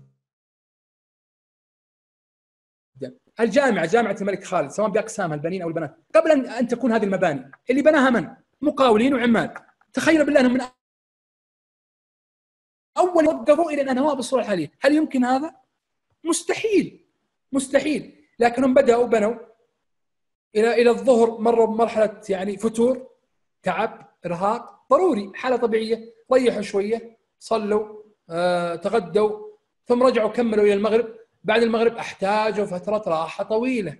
من اليوم التالي عاودوا المسير يعني اللي أنا أقصده أن النجاح تروه مراحل تروه إنجازات متراكمة. لا تستسلم عند أول مطب. لا تستسلم عند أول مرحلة فتور. عندنا يعني شيء مشاهد اللي اللي قد شاف أطفال الأطفال الصغار لما يبدأ في مرحلة المشي يمشي ويطيح يمشي ويطيح صح ولا لا؟ ومع ذلك مصر مصر الا يتقن هذه المهارة. خلاص مرة يطيح يطيح أحيانا على وجهه يطيح على أسنانه آه، يصير عنده إشكالات. بالله يتخيلوا كذا طفل من أول طيحه قال والله ما عاد أمشي. إيش لي؟ وش للهم يعني ما دام هم يشيلوني وكل شيء ليش أمشي؟ لو أن الطفل سبحان الله آه، أستسلم. كذا أنا أقول افتراض مجازي. كيف بيكون وضعه؟ سيكون وضعه مشكلة كبيرة عائق على نفسه وعائق على أسرته. صح ولا لا؟ آه لكن الله أودع في هذا الطفل فطرة. الفطرة هذه إنه حاول حاول حاول حتى تتقن هذا الأمر. ومن هذا الأمر نتعلم هذه السنة. لا تيأس. تفتر؟ نعم. تستمر في الفتور؟ لا. هذه النقطة اللي أنا كنت أحب أوصلها وإن شاء الله أنها وصلت بشكل بشكل جيد. القاعدة السادسة تقول be positive كن إيجابيا. دائما كن جزءا من الحل. لا تكن جزءا من المشكلة. الطلاب مثلا والطالبات يمكن أكثرهم معنا يقولون يعني حصلت مثلا مشكلة إشكالية مثلا في دكتورة أو إشكالية في في دكتورة أو مع أو, أو, أو أستاذة أو أستاذ أو إشكالية حتى أسرية إشكالية عائلية. المشاكل لا نخلو منها. لكن أين موقفك؟ أي مشكلة أو أي عقبة هناك حل؟ جزء للحل وجزء للمشكلة أنت أين موقعك كن ايجابيا وكن جزءا من الحل دائما الإيجابية ترى شعاع إذا إذا إذا تحليت بهذه الصفة الإيجابية صدقني أن أثرها عليك وعلى على الآخرين. أنا آسف لازم أمشي بسرعة الوقت يمشي معي. تمرين إيجابيون. تمرين إيجابيون خلينا ناخذ فيه دقيقتين يا جماعة. الآن أبغى كل واحد منكم اذكر أسماء أشخاص إيجابيين كان لهم أثر في الحياة. أثر في الحياة عموما. أو حتى لو في حياتك الخاصة. اذكر أسماء أشخاص. سواء على الشات أو أو أنت مع نفسك. أمي ممتاز. الوالد ممتاز. أسماء أسماء أشخاص آخرين. يعني الآن إحنا أخذنا في جانب العائلة. ممتاز. أستاذي وافي عبد الله أمي وأبي وزوجي. النبي صلى الله عليه وسلم. جميل. أسماء أخرى. أحمد الشقيري. ممتاز. معتز. دكتور عبد المنعم. دكتور غازي القصيبي. جميل. استاذتي صالحه أستاذ حامد العمري. ممتاز. وقفوا. ها؟ أه؟ يا جماعة إيش أثرهم؟ عمر جبران إيش أثرهم؟ ما أثرهم؟ اكتب أثرهم ها؟ ثم السؤال الملك فيصل رحمه الله طالبة معي في الجامعة رغد الشهري. أثرهم في الحياة ماذا؟ يعني أنا أقول لكم مثال. آه، كان في أغلب الدورات اللي أقدمها يذكر اسم بشكل سبحان الله متكرر. آه، شخص يعني أفنى حياته لقارة أفريقيا. آه، في يعني ما شاء الله تبارك الله ورحمه الله في نفس الوقت. أحسنت أستاذ رهف اللي هو من؟ الدكتور عبد الرحمن السميط. هذا شخص إيجابي. ممتاز أستاذ سارة. عبد الرحمن السميط شخص إيجابي. إيش أثره يا جماعة؟ أنا ضربت عبد الرحمن السميط لأنه يمكن يكون آه يعني مشهور للجميع. أحسنت أخوي عبد العزيز بث الإيجابية. طيب خليني أقول لكم الآن. عبد الرحمن السميط خلينا ناخذ مثال عشان آه تتضح الصورة هنا وأبغى بعدين كل واحد يطبق هذا التمرين لوحده. ذكرنا اسم الشخص الإيجابي عبد الرحمن. اثر يا جماعة يحث على التطوع. ملايين المسلمين يا جماعة ملايين. خلاص؟ عشرات الجامعات مئات المدارس مئات المستشفيات. صح ولا لا؟ أليس هذا أثر؟ آه للدكتور عبد الرحمن السميط رحمه الله. وهو شخص يعني واحد. هذا أثر له. السؤال اللي أنا أبغى أوصله. صحيح أختي خير زي أحمد ديدات. جميل ها؟ الآن السؤال اللي أنا أبغى أسأله. إيش فرقنا عن السميط أو عن غيره من الإيجابيين اللي انت ذكرتوهم ما فرقهم عن الآخرين عن الناس الثانيين؟ والسؤال الآخر ما فرقك أنت تحديدا؟ عن هؤلاء. الجواب يكمن في أنك يجب فعلا أن تعرف ما هو الفرق. فإذا عرفت تشتغل على هذا الفرق خلاص أنا أعرف إن المجال والهدف لكن أتكلم في الغاية أتكلم في الصفات الأساسية. يعني الآن عبد الرحمن الصمد أنا ما أقول كل واحد مثلا يتجه للأعمال الإغاثية أو التطوعية لا. لكن إيش اللي خلاه ينجح؟ في صفات. في صفات. الطموح أحسنتي. الطموح. مثل إيش؟ ال- ال- ال- المصابرة البذل العطاء. يا جماعة عبد الرحمن الصمد كان دكتور طبيب. ومع ذلك يعني آه، آه، كان يجعل 11 شهر لأفريقيا شهر بس يروح الكويت. هذه الفروق اللي إحنا نحتاج نحن يعني نفهمها ونحاول نحن نقارن أنفسنا بهم. طيب خلوكم معي في هذا الفيديو في هذا الفيديو. خلوكم معي خلوكم معي في هذا الفيديو. كرما منكم.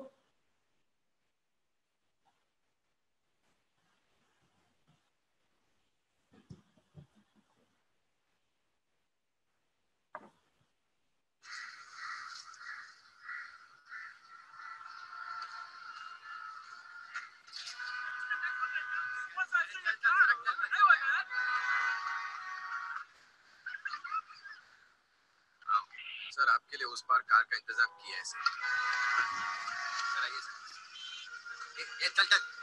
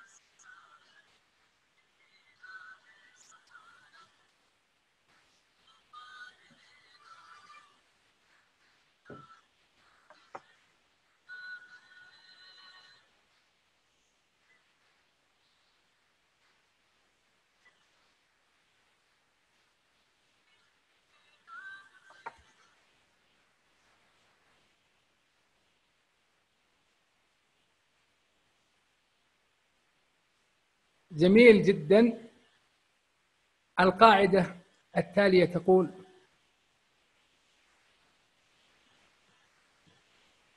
كن مبادرا. كن مبادرا. واختصارا للوقت لعل الفيديو يعني آه، آه، وصل كثير مما أريد أن أقوله. آه، يعني أنا أقول لكم الآن تعرفون قصة عادي بن عادي؟ قصة عادي بن عادي باختصار شديد جدا. يقال أن هناك إنسان عادي خلاص؟ تزوج زوجة إيش؟ عادية. وعاشوا مع بعض حياة إيش؟ عادية. ورزقهم الله ما شاء الله بأولاد وكانوا أولادهم إيش؟ عاديين. وعاشوا زيهم زي أي أسرة إيش؟ عادية. وفي النهاية آه، كان موظف وتقاعد. تقاعد إيش؟ عادي. خلاص؟ ومات رحمه الله. ميتة إيش؟ عادية. ودفن رحمه الله. دفنة عادية. وانتهى عادي بن عادي. عادي بن عادي هذا مثال حال أغلب الناس. اللي يعيش ليس له دور في الحياة. ليس له أي شيء. اللي يعيش لنفسه ول- وللآخرين يعيش متعبا لكنه يعيش عظيما ويموت عظيما. باختصار.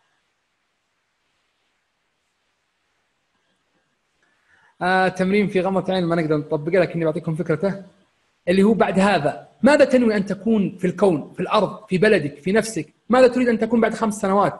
اكتب ماذا تريد أن تكون بعد عشر سنوات؟ ماذا تريد أن تكون؟ يعني اكتب لنفسك.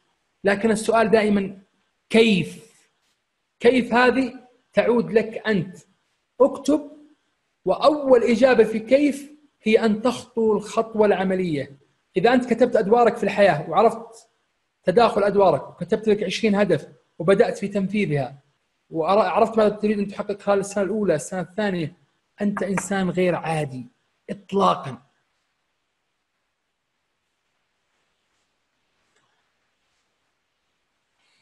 القاعدة الثامنة تقول كن متطوعا. كن متطوعا.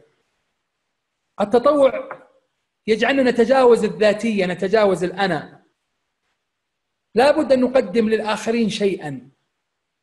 وكثير يعني الآن الغرب أزعجونا. الغرب الآن دراسات مراكز أبحاث مسارات حتى مسارات أكاديمية. ماجستير يعني ودكتوراه في مجال التطوع واحتساب التطوع وعائد التطوع في الدخل ال- ال- ال- ال- الناتج المحلي للبلد و- وتأثيره في الاقتصاد ويتكلمون عنه. كل نظراتهم نظرات مصالح نظرات ليست نابعة من من الشيء اللي المفترض إنه ينبع من عندنا نحن. نحن نمتلك دين عظيم جدا يحثنا على التطوع. لابد يكون لك أو يكون لك جزء في حياتك تطوع. ما هو العمل الذي تتقرب به إلى الله متطوعا محتسبا؟ خلاص؟ النبي صلى الله عليه وسلم يقول الذي يخالط الناس ويصبر على أذاهم خيرا من الذي لا يخالط الناس ولا يصبر على أذاهم. أعطيكم يعني حديث. والله من أول ما سمعته أشعر أن هذه من الهدايا الكبيرة اللي وجدتها في حياتي. وكنت دائما أقولها للطلاب بحكم عملي هنا في الجامعة أقولها للطلاب اللي يستقبلون الطلاب المستشدين. الحديث فيما معناه أن النبي صلى الله عليه وسلم يقول من سار مع أخ له. خلاص؟ في حاجة حتى يثبتها. هذه الحاجة فيها مصلحة دينية أو دنيوية ها؟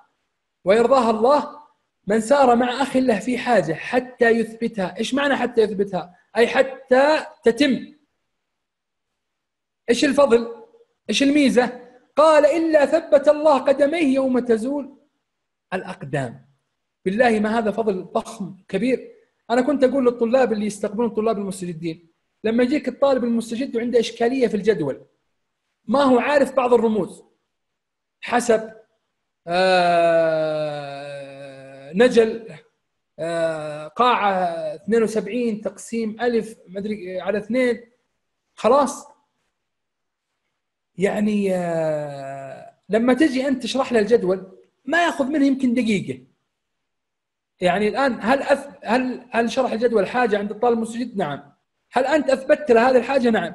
إذا بإذن الله أن الله يثبت قدميك يوم آه يعني تزول الأقدام يوم القيامة.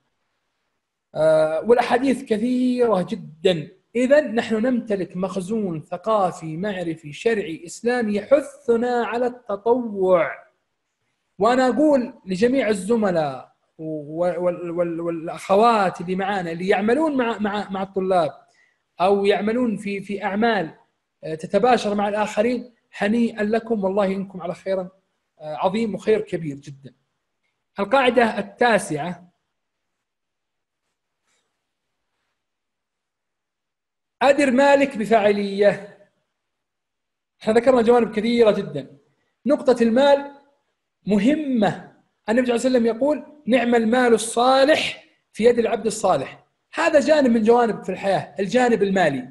لابد أن تحقق القدر الكفاية فيه ولا بد أن يكون عندك مهارات في إدارة دخلك المالي. وده عشرين ألف وده مئة ريال وده خمسمائة ريال يجب أن يكون عندك ثقافة ومهارة لإدارة المال. وب... يعني هذا أنا قلت لكم كل قاعدة ترى دورة مستقلة. المالية الشخصية هذه دورة مستقلة تماما. لكن أنا أعطيكم فيها يعني آه، آه، نقاط سريعة. النقطة الأولى يجب أن تنجح في إدارة المال. مستحيل تكون ناجح في جوانب كثيرة وأنت عندك إشكالية في ماليتك أنت الشخصية. لأن النجاح متكامل. أعطيكم قاعدتين. عشان ما نطول. القاعدة الأولى تقول القاعدة الأولى تقول أنفق أقل من دخلك وادخر الباقي. دخلك مثلا ألف ريال ها يجب أن يجب أن تكيف مصاريفك أقل من هذا الدخل. تصرف مثلا 800 ريال. وادخر الباقي ال 200 هذه تروح ادخار. ثم إذا إذا صار في مبلغ تتحول مرحلة الادخار إلى مرحلة ليش؟ يسمونها الاستثمار، لكن ما بندخل في هذه التفاصيل. فالقاعدة تقول أنفق أقل من دخلك وادخر الباقي. المصيبة أن البعض ينفق أكثر من دخله ويدخل نفسه في ديون وفي دوامة ما هي له. خلينا ننتقل للقاعدة الثانية، القاعدة الثانية تقول what you want what you need. إيش ماذا تحتاج وماذا؟ آه، آه، ترغب. أحسنت أستاذ سارة. مد رجلك على قد الحافك. خليني أعطيكم القاعدة الثانية بس عشان تكونوا معي. تقول القاعدة فرق بين الاحتياجات وفرق بين الرغبات. لما تنزل السوق خلاص عشان تشتري مثلا جهاز جوال. هل أنا أرغب فيه كرغبة؟ في ذلك أبالغ في المواصفات وفي الأشياء ولا احتياج؟ دائما إذا جيت تشتري أي شيء أو بتنفق مالك في شيء فرق what you want what you need. ماذا تريد وماذا تحتاج. ركز مصاريفك على احتياجاتك. إذا باقي عندك وفرة تبغى تحط كماليات أوكي. لكن إذا أردت إنك فعلا تتقن المهارة ركز على احتياجاتك. آه، أعطيكم بس آه، كتابين مثلا في هذا المجال وأنا نسيت والله ما أعطيكم بعض الكتب في الأولات لكن مثلا في هذا كتاب لن أكون عبدا للراتب. كتاب لن أكون عبدا للراتب. حتى وأن طالب أنصحك بقراءته. في كتاب برضو أيضا جميل. آه هذا كتاب مترجم. اسمه الأب الغني والأب الفقير. يعني الكتاب الأول اسمه لن أكون عبدا للراتب والكتاب الثاني اسمه الأب الغني والأب الفقير. آه، في تطبيق على الجوال طبعا في تطبيقات كثيرة بس التطبيق اللي سهل وبالعربي في تطبيق اسمه تطبيق آه، مصاريف مصاريف كذا لونه أخضر. هذا ممتاز في الإدارة المالية الشخصية وفي تطبيقات بالإنجليزي كثير يعني. ممتازه أيضا. طيب. ناخذ القاعدة العاشرة وبها نختم. وكان أحد الزملاء أرسل لي على ال على ال على الواتساب قبل بداية الدورة آه اسم الكتاب الثاني الأب الغني والأب الفقير. فأقول لكم أحد الزملاء أرسل لي في, في رسالة على الواتساب. قبل ما أبدأ الدورة بدقيقة قال أنتظر أن تلخص الدورة كاملة في جملة أو في كلمة أو كلمتين. فقلت له استمع معي للقاعدة العاشرة. هي ملاك الأمر كله وأخرت لأهميتها. هذه القاعدة الأخيرة واللي بها أختم تقول استعن بالله إن لم يكن عون من الله للفتى فأول ما يقضي عليه اجتهاده. الإخوة والأخوات جميعا نحن نسير في هذه الحياة ونريد أن نحقق نجاحات كبيرة. والأمر كله بيد الله. إذا احسننا الاتصال بالله سيحسن الله سبحانه وتعالى لنا كل شيء وسييسر لنا كل شيء. إذا كنا من أولياء الله ونسأل الله أن يجعلنا كذلك وأن يتجاوز عنا فإحنا نحن موعودون بما قاله الله سبحانه وتعالى في الحديث القدسي من عادى لي وليا فقد آذنته بالحرب. شيء جميل. أن يشعر الإنسان بمعية الله وأن الله معه. وزي ما قال أحد الإخوة المصريين قال ظبطها فوق تتظبط تحت. أنت ظبطها مع الله سبحانه وتعالى ستزين وتضبط وتحسن وتكمل كل أمورك. استعينوا بالله جميعا. تعلمنا في هذه الدورة قواعد عشرة. أسأل الله سبحانه وتعالى أن تكون يعني نافعة وفيها الخير والبركة وأن يجعلني وإياكم ممن يستمع القول فيتبع أحسنه. أنا في الختام في الختام أقول لكم جميعا شكرا لكم. شكرا لكل شخص حضر. شكرا للزملاء في نادي الإسكان. شكرا للزملاء في أعمال التعلم الإلكتروني. شكرا لكم جميعا. أنا أعتذر غاية العذر منكم. إن أخطأت أو أو أخليت آه، بشيء. لكن يعلم الله إني اجتهدت كثيرا كثيرا كثيرا في إني آه، أحاول أوصل المفاهيم بشكل يعني عميق وأيضا بشكل سريع حتى لا يعني يختل ال- ال- ال- الوقت المحدد. أسأل الله سبحانه وتعالى آه، لنا ولكم التوفيق وجزاكم الله خيرا وشكرا لكم جميعا.